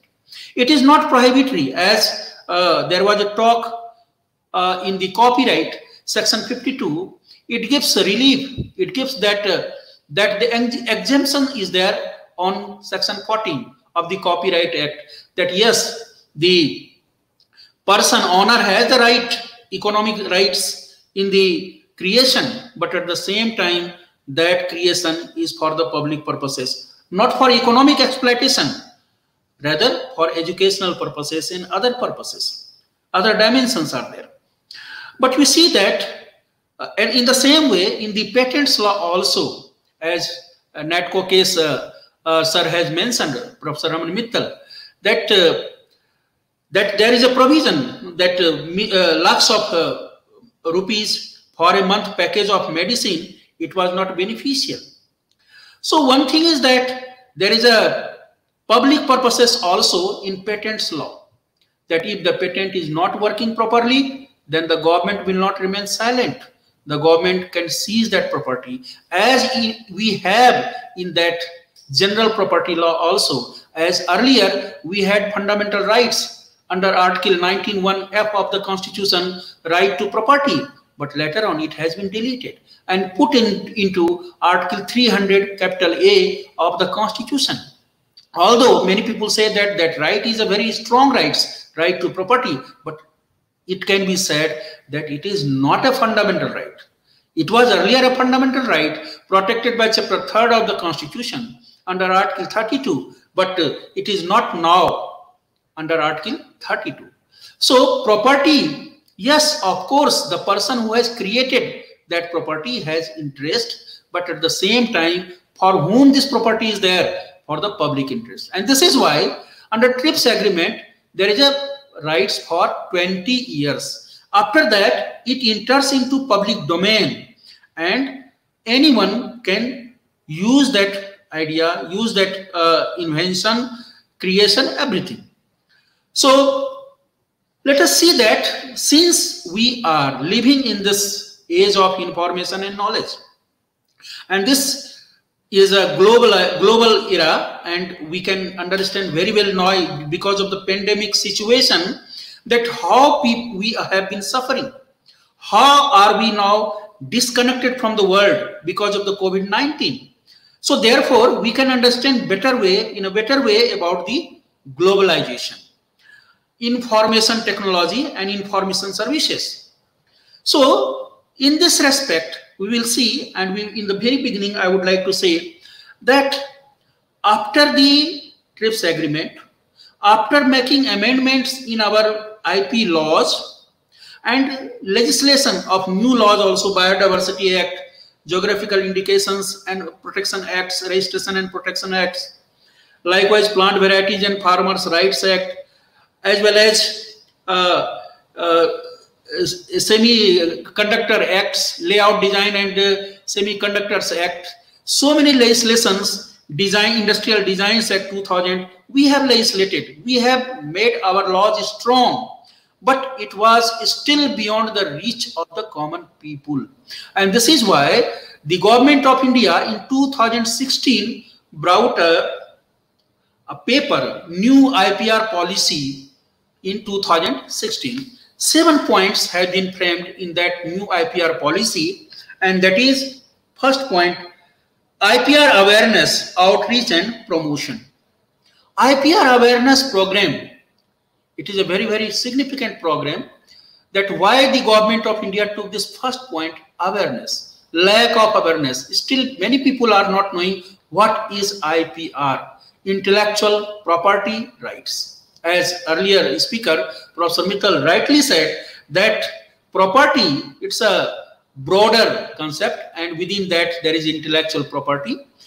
Although in our Indian constitution, we will see that there is no such clear cut in the uh, suppose even in a 300a capital a there is no mentioning of intellectual property so as per in america there is a mentioning of article 1 section 8 uh, section 8 that there is an intellectual property here it is not mentioned so that's why when it is not clearly mentioned in the uh, articles of the constitution of india how can people be aware of these things one aware second awareness is that still people were aware of the patents. Many things we are uh, calling about patents. It is his patents means monopoly. People think about patent means mon monopoly, means ekadhikar, that he has rights, he can do everything. But it is not so. Even the Patents Act 1970 is not a monopolistic rights because it has rights to the people, other people also. So, uh, Second thing is awareness related to even the school. People are not knowing about the intellectual property.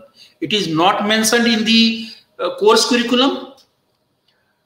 So awareness, when it is not generated common to the students, to the people, then how can we be under uh, can we understand, groom and do research and do everything? Second objective is that gener gener generation of IPR that is to stimulate the generation of IPR. Generation of IPR means creation of IPR. First, there should be awareness creation. Secondly, there should be encouragement to generate and to create. It is the thing that IP audit across the sectors will enable assessment and evaluation of the potential in specific sectors. Generation of the intellectual property. Property will be generated later on. First, there will be generation or creation of awareness and encouragement to the people to do something. Bring your ideas or dream into concrete uh, asset. So, generation and third concept is legal and legislative framework that IPR laws has to be legislated, enacted in such a balanced way that it should be in favor of beneficial to the interest of the individual as well as it should be beneficial to the common people public at large also fourth policy is administration and management to modernize and strengthen uh, service oriented ipr administration this is the fourth policy fifth policy is commercialization of IPR. As I was uh, delivering a lecture in uh, A.N. College, Patna on N. Sinha Memorial Lecture, uh, here one student asked me, Sir, I have a hobby of painting, drawing, sketching. So where shall I sell these things? This is this is a problem. People are not knowing, even if they are creating something, they are not in a position to commercialize, earn money. So commercialization, sixth is enforcement and adjudication. And in enforcement and education, adjudication, minimization of litigation is essential. If there is a two litigation, so many litigations, then litigation cost is added to the intellectual property asset and ultimately the common people has to pay and it is very costly.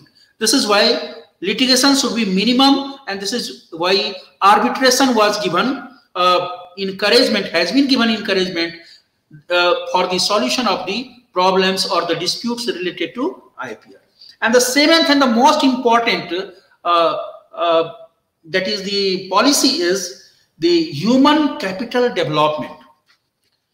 As we see that uh, uh, human capital development, what does it mean? it says that they ex expand human resources. As generally we have heard about the human resource development, as our HRD ministry is known as. What are the human resources? Education, uh, knowledge, uh, attitude, aptitude, our behaviors, intelligence.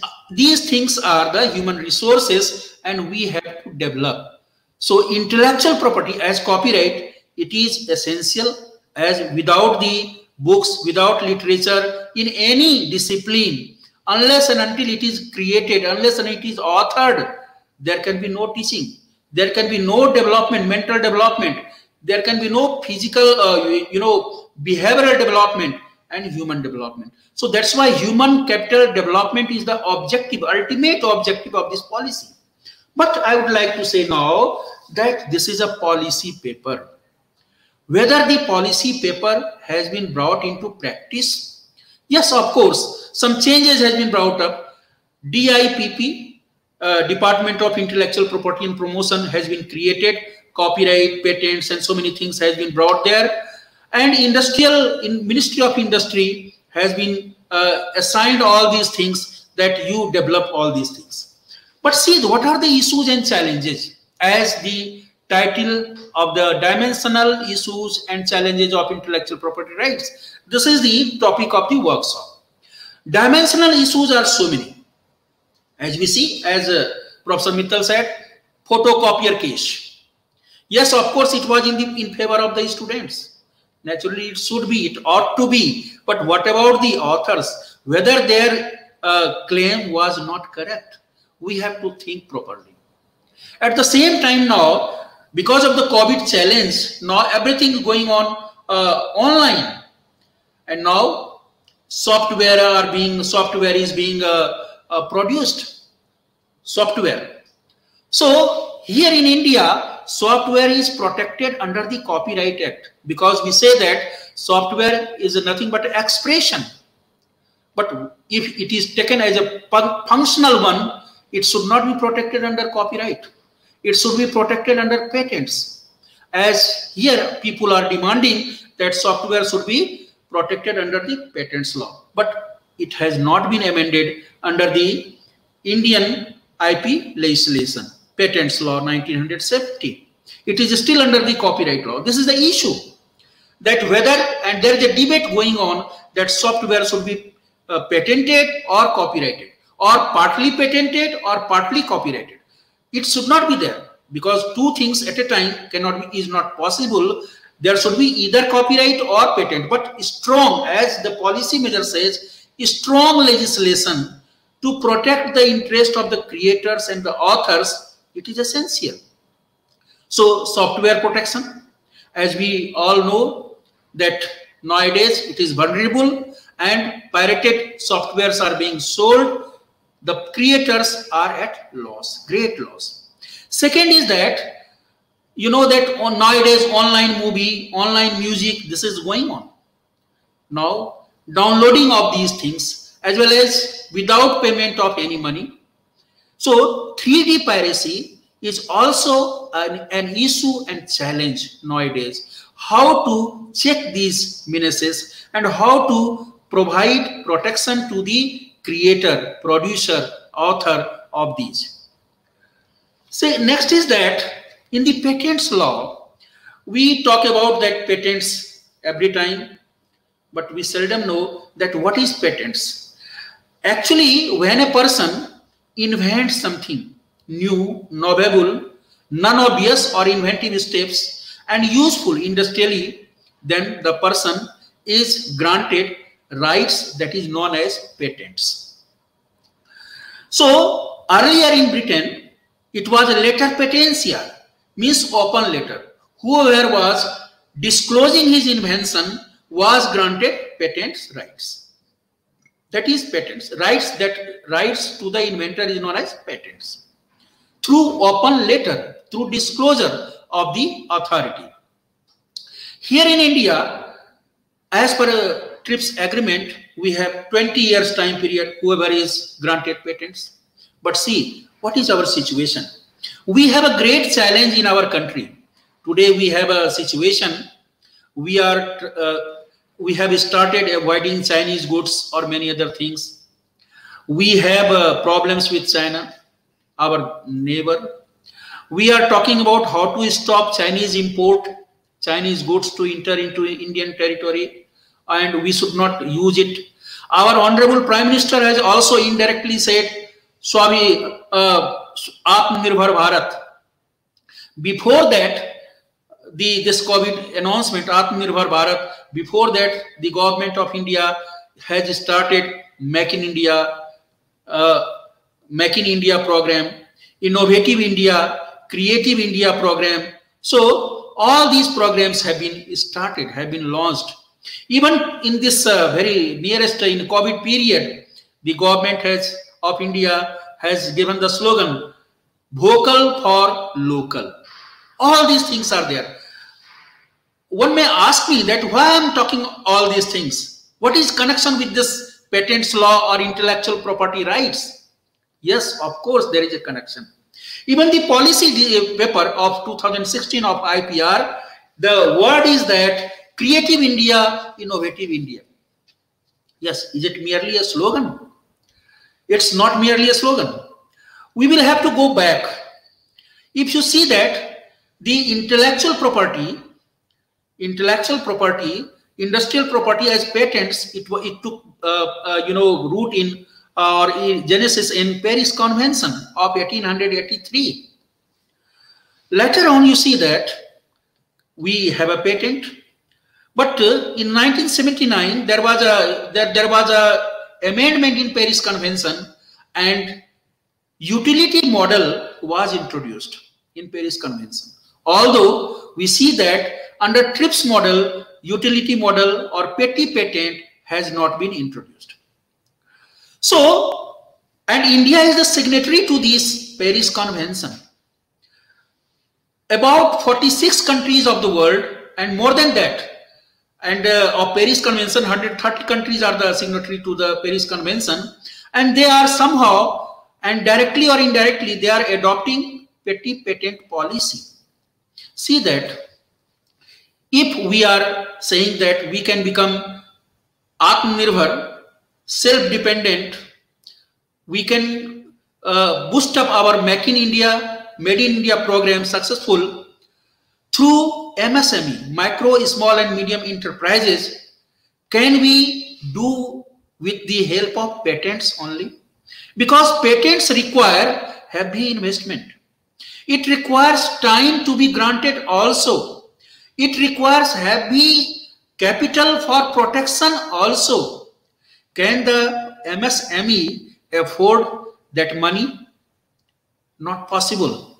China has been successful in doing that petty patent. One application, two patents. This is the Chinese slogan. Whereas in India and the UK and USA also, I would like to talk about India that one application, one patent. It is our policy and as per the law also that one application will be granted only one patent. Whereas China is granting, if someone has submitted the application and it is if it is not patentable or if it does not come uh, as per the test or quality of examination that it is not new or novel not uh, uh, you know inventive steps technological development then it can be granted utility model or petty patent or another name is innovation patent. And with the help and it is granted up to 10 years not more than that. 7 to 10 years 12 years in different different cases. So and it is very cheap. It is registered very quickly and people start using those inventions in their small scale industries since it is less costly less time taking therefore the micro small and medium enterprises are in a position to thrive. Manufacture goods and sell it at lower cost to the neighboring countries or any other any countries and they are successful. So if we want to make ourselves atmanirbhar then we will have to give boost up to this petty patent but there has been a debate negative debate against this petty patent policy so that's why that uh, in the very beginning i said that in the policy paper, IPR policy 2016, policy is there, but implementation is we are far behind and we have a challenge now Atmanirbhar, how to do that. So innovative patents or innovation patent you can say, it will be in between the claim of invention as to prior art. Prior art means the knowledge to the people. In between that, so it will be useful for the small scale industries, for the traders, businessmen, for the MSME, and we can create wealth, employment, and we can develop and we can export also. Economically, we can develop and we can become strong. Our investment will go, earning will go to another areas and we will be happy. So one challenge is there, but there are so many barriers in this way. Another is uh, one we are uh, knowing very well that we are living in the age of biotechnology. We are living in this age and plants and uh, animals and many other things we are extracting, we are making goods. So with the help of biotechnology, we can grow more and more. Biotechnology industry is uh, is increasing in increasing order, growing more and more. But whether we are we have given any recognition, any protection, or any support to the biotechnology industry, we will see that under the Patents Act, The concept section 3, we will see the Patents Act. It talks about which is not patentable. Subject matter which is not patentable. There is nothing positive like what are the subject patentable subject matters. And you will see that many things are mentioned under section 3 which debars even the plants and uh, uh, uh, traditional knowledge. Okay, I am not saying that the traditional knowledge should be exploited by someone else, but at least there should be sharing of the knowledge. So section 3D, it is quite hard one in India.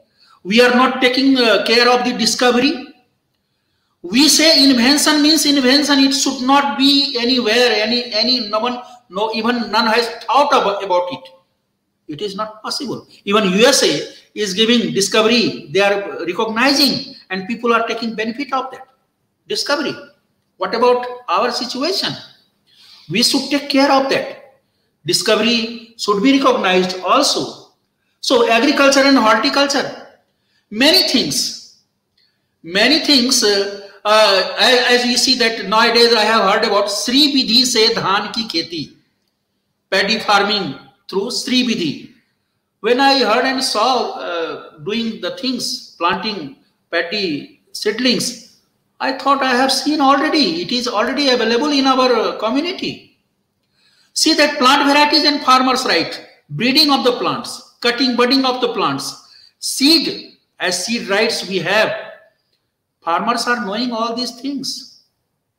But they are not aware of how to do these things, how to market these things. So negative rights under the under section 3 of the Patents Act, it is also a great challenge. It is also a great hindrance in our progress.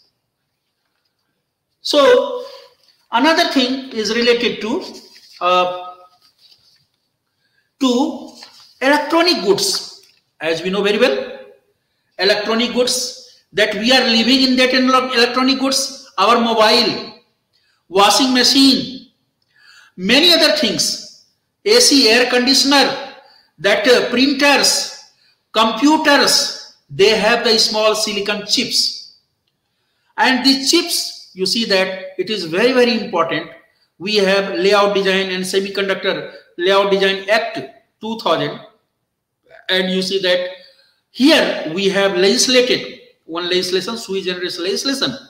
It is uh, protecting. We we have followed uh, the USA and the Act of 1984, and along with that we have this legislation. But at the same time, the chips are being pirated also.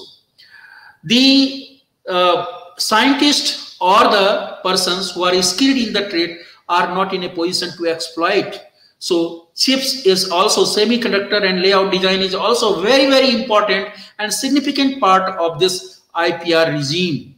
And we have to protect these chips. See that uh, so that we can develop our industry, businesses, electronic businesses. And this is why National Institute of Electronics has been uh, established by the government of India under Ministry of Electronics. And here in Patna also one NIELIT, National Institute of uh, Electronics and Telecommunication is here established. There is an institute. So we see that electronics chips, it is also a subject matter of a challenge before us. Now another part that is the geographical indications. Biodiversity and plant varieties and farmers' rights that one can be said. Plant variety when one can exclude biodiversity, geographical indications. You see, this is nothing but a community property. It cannot be individual property. And but geographical indications, it is ownership lies to the people of the area, not any individual one. And it is one of the most important uh, aspects of the trade. And so GIE, it is most important. We should preserve, but awareness is lacking as I can give uh, cite an example that when I went to Kerala in Cochin University, I was in a program. I was handed over one uh, packet of rice. It was called Palakkad rice. Palakkad rice. When I came back to Patna and cooked it. The taste was same as in Bihar. There was lal dhan, lal paddy. Rice was a red one, and it was the, it had the same taste. But see that the people of that area saved that rice, traditional rice, and now they are growing and they are exploiting. They are selling that rice in the market, and the cost is 150 rupees per kg. So whether we could have saved the traditional seeds, as people nowadays talk about that nowadays there is no taste in medicine, uh, taste in vegetables, taste in rice, taste in wheat. Nowadays we have uh, you know modified seeds, genetic seeds.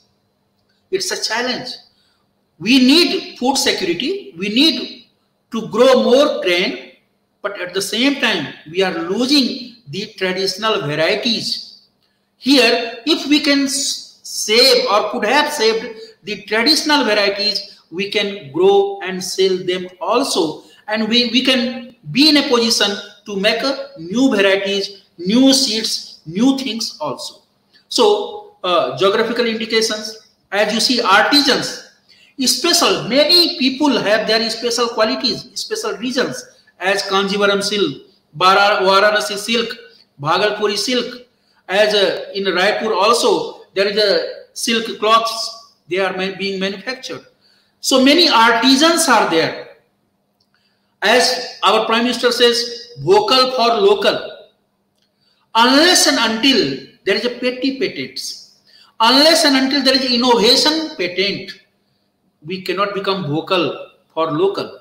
Only by saying we cannot do that unless we are granted certain rights. And in this way, if this patent is granted to the people, naturally the people will be happy and there will be encouragement to the local innovation. Of course, it can be locally granted.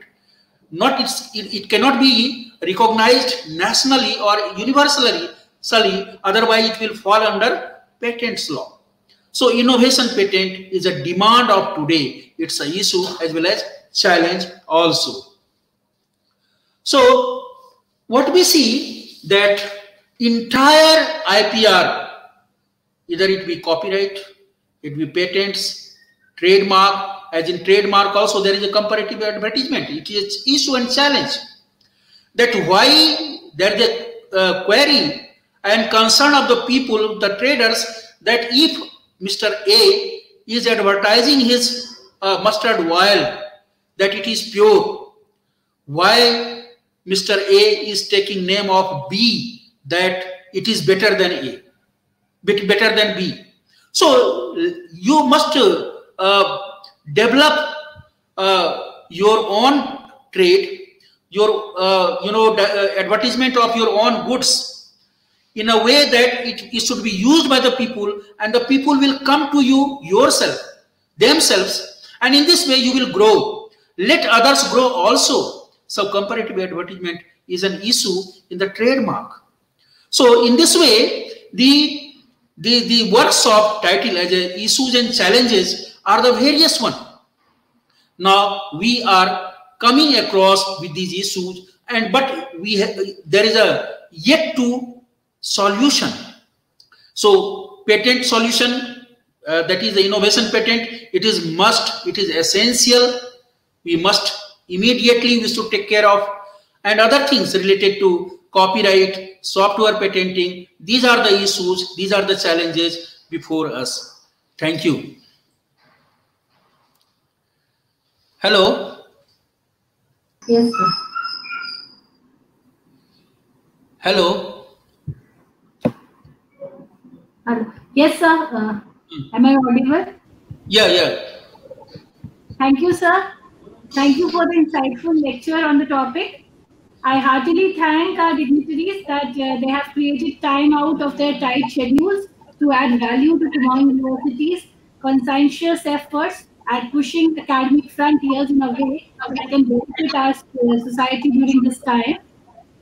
And uh, we are now opening the floor for the questions.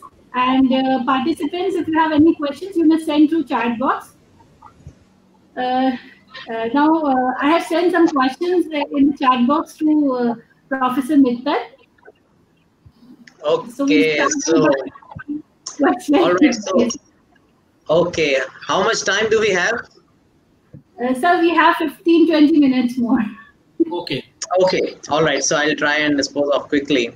So the first question is, uh, what are the, what are parallel importing with respect to copyright? So basically, parallel importation is a very important area under intellectual property law, under all spheres of intellectual property law, whether it's copyright, trademark, patents, etc. So let me address it with regard to copyright. See, what is what exactly is parallel importation? Parallel importation means that there is an official channel. For example, in case of books, Oxford University Press, let us say, has a distributor in India, and the and the press is press is there in UK, and the books are printed in UK and brought to India through the official channel. Now, can somebody go to, for example, another country, say UK, and buy Oxford University books, for example, from the UK market and bring them to India and start selling without any authorization from Oxford University Press? So this is precisely what is meant by parallel importation. This is important from trademark law perspective also, and we had a very famous case that is Samsung uh, versus Kapil Wadhwa. And um, for example, in that case, somebody goes to Singapore and buys uh, printers, computer printers, and brings them to India. For example, he buys 1,000 printers from the open market in Singapore, brings them to India, and starts selling.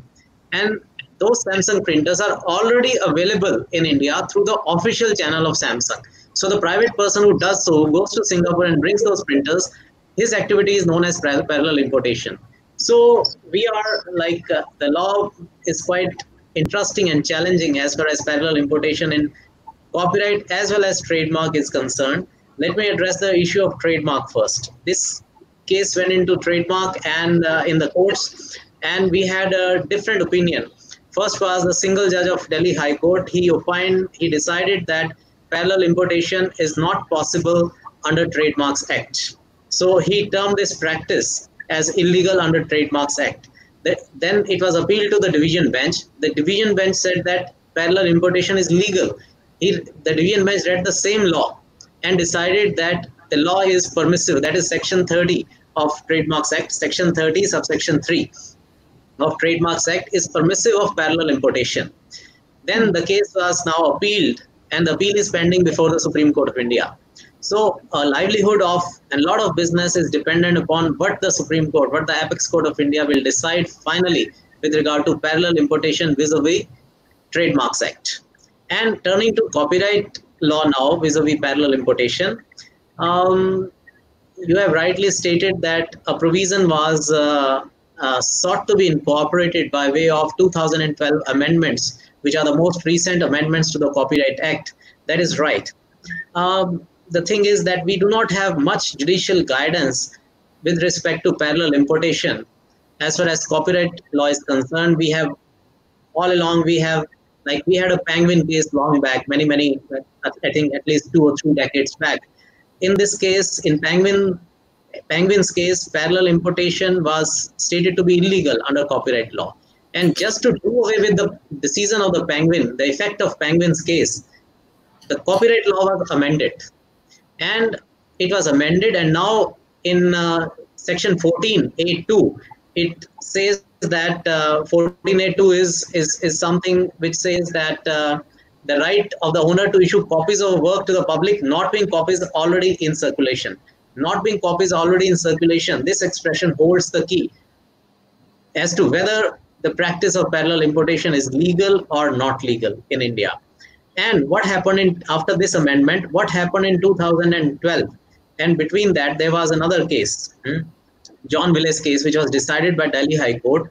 And that case, that decision has been criticized a lot, in which we can say the court held that parallel importation is not permissible within the Copyright Act. But then that it did not, the decision did not match the facts of the case. It did not, it was not a correct interpretation of law. Therefore, the law was thought to be changed again. though there was no need. And it was thought to be changed, but because there was an uproar by foreign publishers' lobby, so this proposed amendment was taken off the bill. When the bill was finally introduced in the parliament, it did not have the, the explanation to infringing copy, right? To the definition of infringing, infringing copy, through which this law of parallel importation was sought to be reformed. But in my understanding, if we interpret section 14 um, in the light of the whole act, I find that parallel importation is permissible, irrespective of what has been decided. Whatever has been decided, it is possible hmm, and it is legal.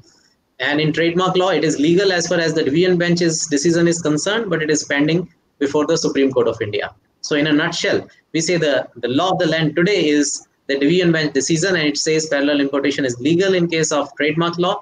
In copyright law, it is yet to be decided by uh, the court. What happened? The, we wrongly say that in 2010, in uh, John Wiley's case, it was decided. It was not decided because the matter there was parallel exports, not imports. So the court said that the activity was illegal, but that activity was parallel exports. So we can't say that John Wiley's case of 2010 is enumerative of parallel importation in India. It is an open question. And my understanding is parallel importation is legal. Okay, then uh, what else is the question? Let me see. Uh, yesterday, uh, yesterday's order under section 69A of IT Act. Yeah, they, they say what is the difference between blocking and uh, this uh, banning. So block can be is more technical in nature, though the distinction is not so well defined. But blocking is more technical, more technological, and banning is more legal. So normally, when you, when the government does so, it does so on both the counts. It bans through through law, through order, through direction, and it also stops the technical feasibility of it. All right. So that's what I can say. Is there any other question? Uh, sir, I see a question on damages, right? So as we say, um, how are IPR infringement damages calculated?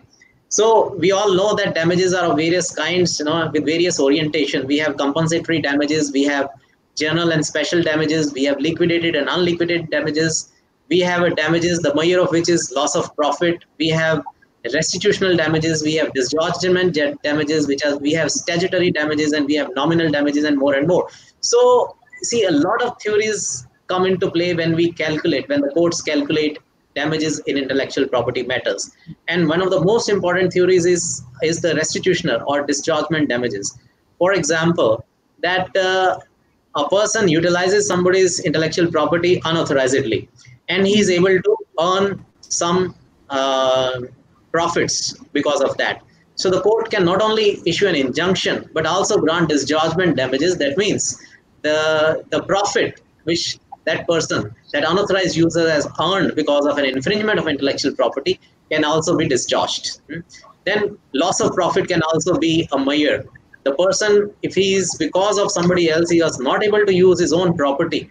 So had he been able to use the property, he would have been able to earn certain profits. So that can also be a barrier. So basically, these theories of tortious of tort law are well accommodated within um, intellectual property damages principles. And I will also say that, for example, in case most of the practice of intellectual property is done through licensing activity, and in case of breach of a license, what the damage it would be. So that would be an interplay of damages between because damages is a concept within contract law as well as tort law. So when it is a licensing matter and licensing of intellectual property, every license is a contract, and a breach of license would attract not only uh, damages under contract law but also damages under tort law as well. So, but the, at the same time, the, the the principle, the cardinal principle is that in one action the person should not be allowed to recover double damages. All right. So that is the interplay. And uh, is there any other question? Uh, from Professor Roy. Uh, Dr. Suresh Chandrapani, uh, over to you. Uh, your voice is not coming. You are not audible. Yeah, audible. Yes. Ah, okay, okay. Uh, there is a question to Professor Roy. Yes. Sir, are people aware of the provisions of the Constitution other than those related to IPR? Yeah, uh, your question is very marvelous question. Yeah, people are aware of constitution more than IPR, of course. But uh, as in the beginning, I, your question is uh, related to that. As I said, that it is not mentioned in the Constitution of India, uh, as in the American Constitution. Actually, even suppose it had been mentioned in the property under 300A or earlier under 191F, it could have uh, people could have taken notice. Hmm. Because constitution is a basic uh, you know uh, tenet of our country. And people could have thought about that yes this is intellectual property and it is mentioned here and what it is. But actually it is not mentioned. So this is why i am drawing the attention that it should have been mentioned along with the property intellectual property should have been also although we are taking, uh, you know, our legislations are not unauthorized, it is under the uh, Schedule 7. And out of that, we are making legislations, IPR legislations. But specifically, there is no such article. And had it been there, I am sure that people would have been more aware of these uh, kind of IPR. And I am, I am frankly saying that it is Dunkel's proposal that brought revolution in the world before that, how many people of us are we are knowing about all these things? And even in a teaching academia before 2000, people were not knowing about intellectual property. When I took this, uh, uh, you know, this uh, research work in TM Bhagalpur University, I am the student of Bhagalpur University, and when I uh, said there that I want to do research in uh, intellectual property, people were surprised. What are you saying? Who will guide you? And frankly, I am telling you that uh, one, uh, I, I, would like to tell name uh, Honorable uh, Professor Kiran Saxena. She guided me. She told me, yes, I, I will guide you. And she learned and did hard work and she guided me. Although I took support from various people, various professors, and one is among them Professor S.D. Sarma sir also. I took his help also. I frankly, I, I am grateful to you, sir and uh, I took uh, suggestion and help from uh, Professor S.K. Verma of Delhi University. At that time, she was in ILI director also, and she helped me. So I took help from various people from different parts of the country, and then I could do the work on IPR. So I know the thing that how many people were knowing about the intellectual property and see that intellectual property and rights as uh, rightly Professor Mittal uh, delivered in the very beginning, the jurisprudential concept. When I teach in the class, in the very few classes, I discuss the jurisprudential aspect that proper intellect, property, and then rights. Three things it takes four, five classes. Then it is clear that what property is and the concept of property. So these things are there and distributive justice also related to as a, uh, you know Kameshwar Singh versus State of Bihar. That case is very significant related to property, and it is also relevant to this intellectual property also, because private interest versus public interest, as rightly Professor Mittal discussed earlier, that private interest has to forego when there is a public interest. As rightly it has been said, when Article 39 B and C comes, Article 14 and 19 goes out so when there is a social, uh, you know, benefit, economic and social justice, then private justice has to be minimized. So all these things, all these aspects are, it's a very, very interesting paper, interesting, interesting subject, and it is connected with jurisprudence as well as constitution, as well as economic theory and social justice theory. So it cannot be taken in isolation. If, I, someone is saying that I am teaching copyright law, it is not isolated one has to be connected, interconnected. If someone is going to teach uh, GI, geographical indications, the person has to have understand trademark also. If someone has to, is going to teach plant varieties and farmers' rights, it means he has to understand, understand agriculture, agricultural knowledge as well as agricultural laws also. So many things are there. In totality, we have to learn and we have to disseminate and this is my uh, very, very small uh, uh, sharing of the knowledge, what I have learned till today. So that's why, sir, uh, constitutional provision should be there and it will be create more and more awareness among the people. Sir, anything more?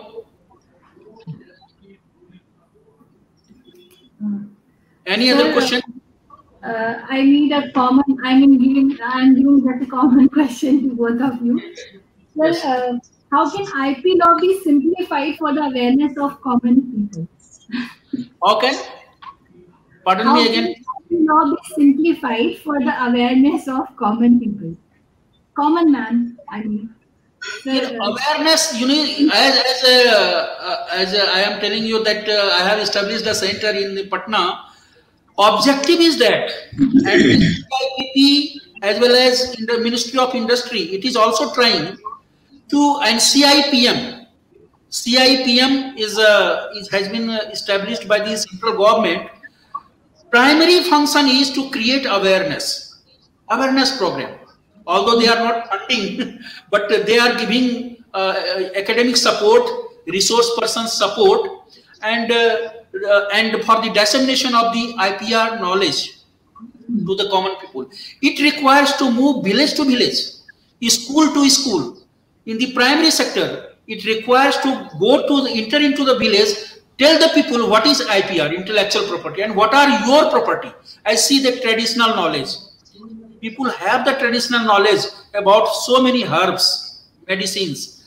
I, I am sharing one example. Uh, my uncle was in a village. As we know very well, jaundice. हम जानते हैं jaundice, jaundice पीलिया बीमारी. In jaundice, doctors prohibit you to take any spices.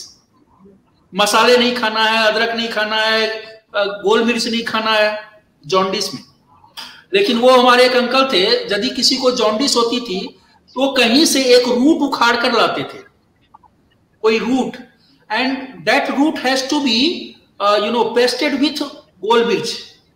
हाँ काली मिर्च के साथ वो रूट पीस करके 14 डेज़ देते थे and the person was cure तो मैंने सुना, उस समय I was the student of class eight nine so I ask him uncle this this spice is harmful to the person who is suffering from jaundice you are putting these things but he told I am not knowing many things but I am immersing this medicine, introducing this medicine, and person is cured.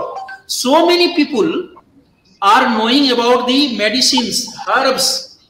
Can it be commercialized?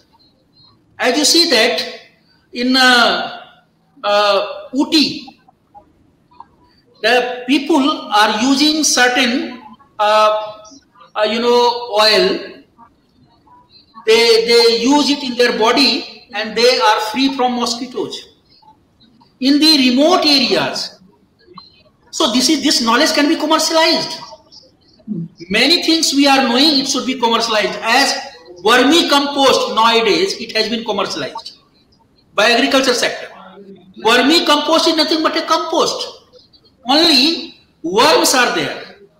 So many worms are there. And I have seen in my villages how people are making the compost in the pit with dung and other, uh, you know, leaves and other things. Uh, agriculture reduce. So all these things we are knowing, we, it can be marketed. Geographical indications, many things are specialist. You see that uh, one example I will tell you, Futka. Uh, Futka, it is not known to everyone. It is when there is a cloud, you know, thunder in the sky, during this season, rainy season, it comes after the bursting of the earth, that is uh, like a cauliflower. बंधा गोभी होती है ना? तो बंधा गोभी की तरह वो एक होता है उसको कहते हैं फुटका। फुटका इसलिए कहते हैं धरती फटकर निकलता है। और वो तब निकलता है जब आकाश में बादल गरजते हैं। और वो झारखंड के हजारीबाग में होता है। That is a special one no other places it can have why not it can be commercialized marketed and the people will be benefited so that many things are there we have locally but we are not using it जैसे our prime minister has said that each area has some specialty each area एक बार मैं महू की यात्रा पर था Mhow MHO जहाँ our Bhimrao Ambedkar साहब birth place तो उस एरिया में एक एक खंडवा से ट्रेन जाती है। उस रास्ते में एक प्लेस है जो वैली में है। दो बड़ी बड़ी ऊँची पहाड़ियाँ हैं उसके नीचे वो। और वहाँ एक मिठाई मिलती है। That is a special sweets can it not be marketed अब वहाँ के लोगों को समझाएँगे कि भाई, तुम्हारा ये जीआई है, ये स्पेशलिटी है इस गुड्स का तुम मार्केटिंग करो, ज़्यादा से ज़्यादा प्रोडक्शन करो और तुम बेचो और तुम्हें लाभ होगा बेनिफिट होगा तो वो लोग होंगे। तो हम लोग जब तक गाँव गाँव जाकर के लोगों को समझाएँगे नहीं, स्कूल में जाके बच्चों को नहीं समझाएँगे तो इनोवेट नहीं कर पाएँगे। इसीलिए इनोवेशन पेटेंट और इनोवेशन इज़ एसेंशियल आप आत्मनिर्भर भारत बनाना चाहते हैं, जब तक आप पेटी पेटेंट की ओर नहीं जाएँगे जो चाइना गया है। तो तब तक आप नहीं कर पाएँगे। वाई नॉट जब मैं मैं प्रेजेंटेशन दे रहा था सिंगापुर में तो वहाँ भी मैंने प्रेजेंटेशन दिया। One application three patents should be here कैसे? लोगों ने पूछा आप कैसे कहते हैं भाई? मैंने कहा चाइना ने कर दिया। China one application two patents if certain invention is not patentable यदि वो बार्ड है, वो इन्वेंटिव स्टेप्स नहीं आ रहा है उसमें तो वो क्या कर देता है? पेटी पेटेंट दे देता है। आप ले लो पेटी पेटेंट। यानी उसका जो मेहनत है लेबर स्किल एंड जजमेंट जो इन्वेस्टमेंट है, बेकार नहीं गया, वो कॉमर्शियल एमएसएमई में काम आ गया। और वही low cost invention now it is in product form and it is selling आप कहते हैं, चाइना से मुकाबला, आप मुकाबला कैसे करेंगे? अनलेस अनटिल है यू हैव दिस टेक्नोलॉजी आपके यहाँ पेटी पेटेंट पर बैन है, नहीं है। Vehemently even the parliamentarians have opposed it आप कैसे रोकेंगे? क्या एमएसएमई को है इतनी हिम्मत, इतना कैपिटल है कि वो पेटेंट्स खरीद सके और उसको प्रोटेक्ट भी कर सके? नॉट पॉसिबल तो हमें डायल्यूट करना। और भी कंट्रीज़ हैं। Not only China Japan other Korea 46 countries, they are giving petty patents innovation patents. And they have involve the school students also छोटे छोटे क्लास एट से बच्चों को इन्वॉल्व किया है क्रिएटिविटी में इन्वॉल्व किया है। और जिसके चलते वो उन बच्चों में इनोवेटिव कैपेसिटी आ गई है। और जो इंडस्ट्रियलिस्ट इनोवेट करते हैं, वो तो अलग है। And they are growing they are commercialising all these innovation all these knowledge but we are lagging behind we are only talking we are not actually doing anything so we will have to amend our legislation this is why मैंने जो discussion किया है यहाँ कि what are the issues and what are the challenges? Issues तो ये सब हैं। अब जैसे सर ने कहा कि कॉपियर ठीक है, लड़के खुश हो गए सर, लेकिन आपकी ही बुक को यदि सर छाप छाप के बेचना शुरू करें तो आपको क्या मिलेगा? वट यू विल गेट जो कि आपने लेबर स्किल एंड जजमेंट दिया, आपकी, आपका जो बुक है, बहुत अच्छी बुक है। I have read it sir ने जो लिखा है, मित्तल साहब ने। लेबर, ये ट्रेडमार्क पर बेस्ट बुक लेकिन उस बुक को यदि ये फ़ोटो कॉपियर बेच बेच, बेचना शुरू कर देंगे, दो सौ रुपये में, एक सौ रुपये में तो फिर ऑथर का ओरिजिनल बुक क्या होगा? ऑथर को क्या मिलेगा? व्हाट अबाउट दी ऑथर उसको भी देखना है। दूसरा, अभी three D three dimensional piracy जो हो रही है, उसका क्या होगा? तो we have to see both balancing one यही कारण, इसका कारण क्या है? इन्फोर्समेंट मैकेनिज्म इज़ लैकिंग आप देखेंगे कि 2000 के पहले साइबर लॉ तो 2000 में है। और साइबर लॉ अभी भी जो इन्फोर्समेंट एजेंसी हमारी है पुलिस फोर्स कितने लोगों को पता है?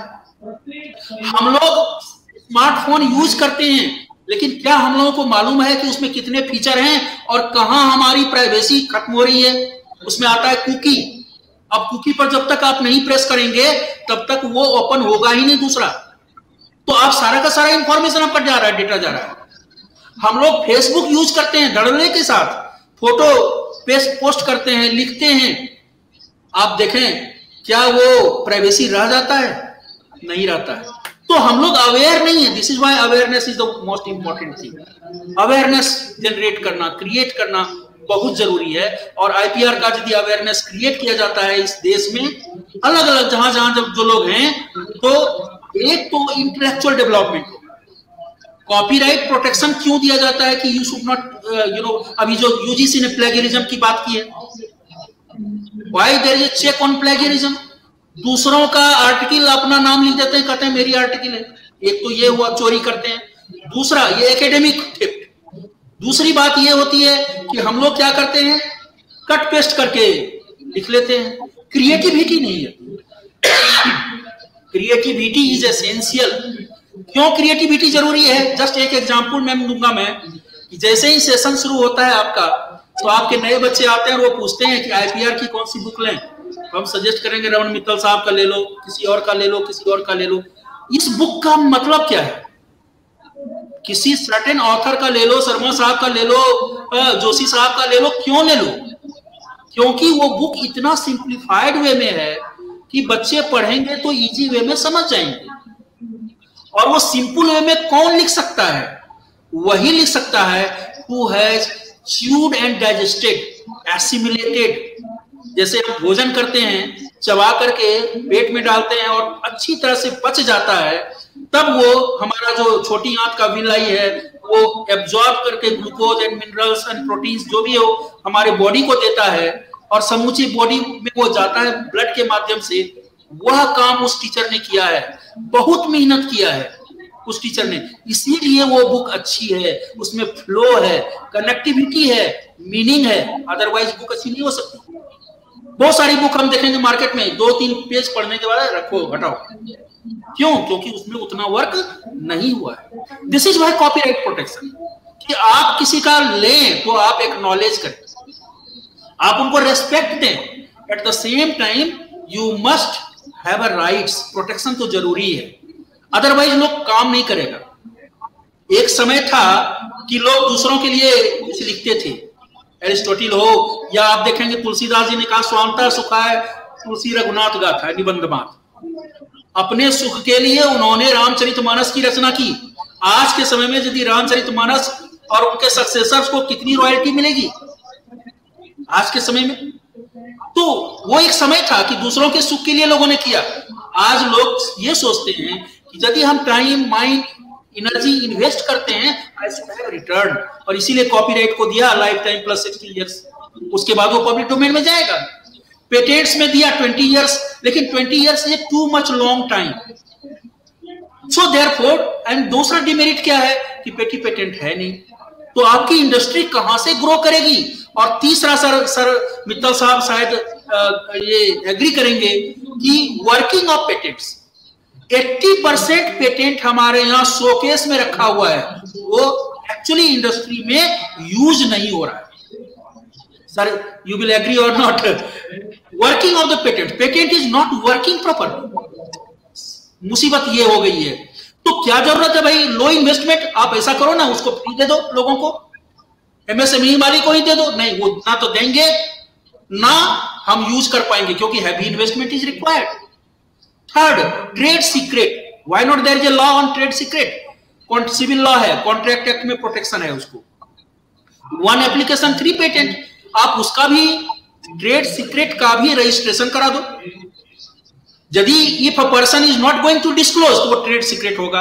At least he will be registered at least यदि पेटेंटेबल नहीं है तो पेटी पेटेंट होगा। There will be revolution in this country and publication there should be large number of publication अभी आप देखेंगे, ये जो यूजीसी ने केयर निकाला है केयर जर्नल वाला लिस्ट ये ताजुब है यूजीसी एक और कहता है कि प्लेगरिज्म मत करो। दूसरी ओर कहता है केयर में यदि आपका आर्टिकल पब्लिश होगा तो आपको पॉइंट मिलेगा प्रमोशन होगा otherwise you will not be promoted और हमारे जो बड़े बड़े बुज़ुर्ग प्रोफेसर हैं, क्षमा कीजिएगा सर, गुस्सा मत करिए, करेंगे।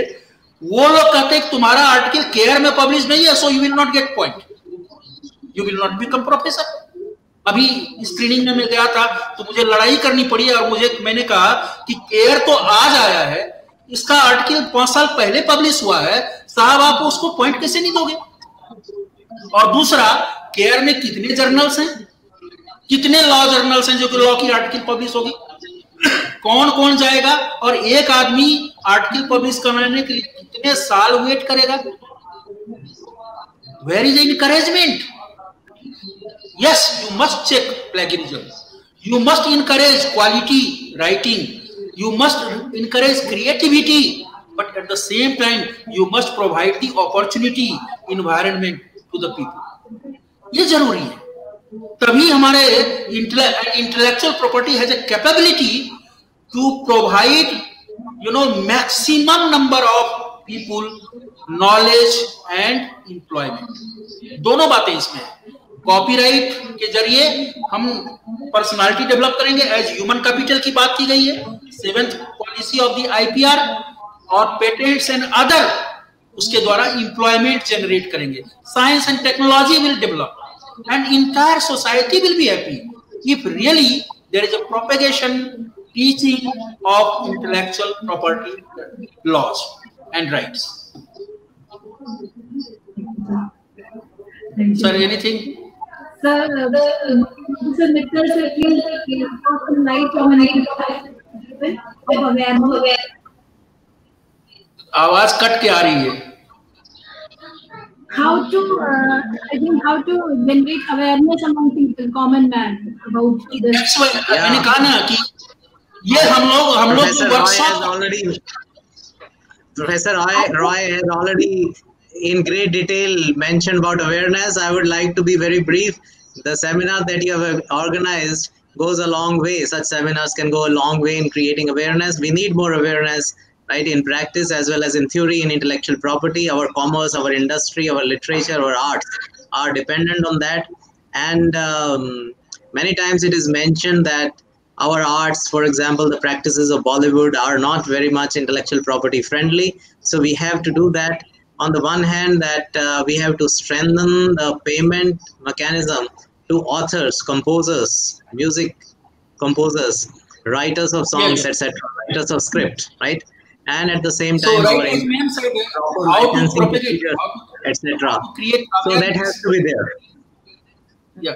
All right. How to create So- awareness as we are doing, you know, workshop in the urban areas, we have to do workshop in the village, rural areas. Then people will learn. We have to make a workshop or uh, organize workshop in schools where children are learning in a simple language. In a simple language, in a common language, in a day-to-day language, we have to make them understand. Unless this type of campaign is there, there can be no awareness. Because we know very well that we are attending these seminars or organizing these seminars.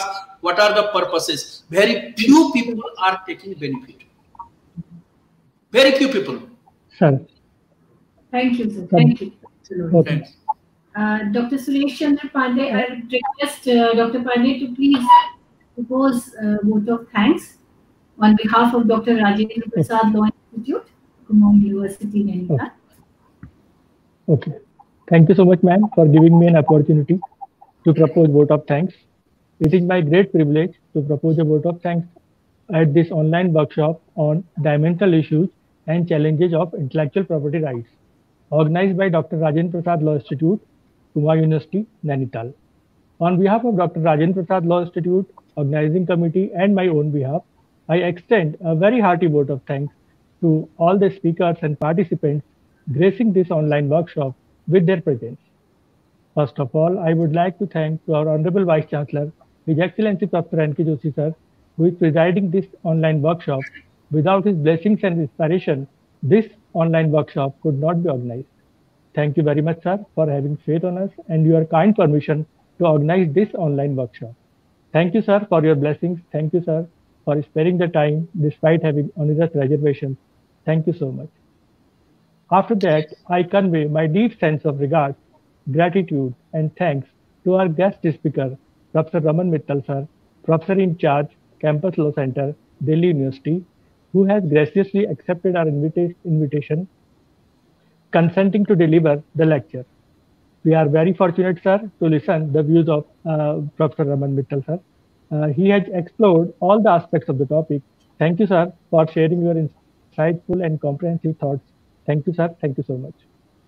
We are deeply indebted, to our uh, guest speaker, Professor S. C. Roy, the Dean, Research and Development, Director, uh, CIRF in Intellectual Property, uh, Chanakya National Law University, Patna, for graciously accepting our invitation and sharing uh, with us his vision on the subject.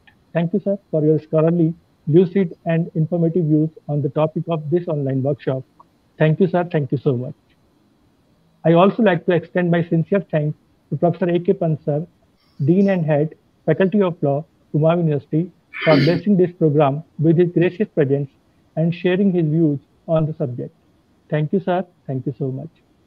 I also extend my special thanks to Senior Professor D.K. Bhatt, sir, former Dean, Faculty of Law, Kumaon University, for blessing this program with his gracious presence.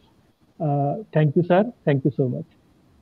I also like to thank Professor S.D. Sharma, sir, who is organizing director of this online workshop and also the director of Dr. Rajendra Prasad Law Institute, Kumaon University, Nainital, for organizing this online workshop on such an important topic. Thank you, sir, for giving the opportunity of being uh, part of this online workshop. Thank you, sir. Thank you so much. I also like to thank to Mr. Ravin Singh Base, sir, Director, Chanakya Law College, Rudrapur, who is head of the technical support team to this online workshop for providing necessary technological support to conduct this workshop. Thank you, sir. Thank you so much. I also thank my Dr. Rajendra Prasad Law Institute, Kumaon University, Nainital, Dr. Dipakshi Joshi ma'am, who is also a member of the organizing committee of this online workshop. Thank you so much, ma'am. I also like to thank Pratibha Singh, a student of Dr. Rajendra Prasad Law Institute, Kumaon University, Nainital, for assisting by selecting questions of participants for question answer session. I thank the organizing team to make this program a success. On behalf of organizing committee, I convey hearty thanks to all participants from India. That you are the foundation behind this online. Thank you, thank you so much. And lastly, I would like to thank everyone once again. Thank you, thank you so much.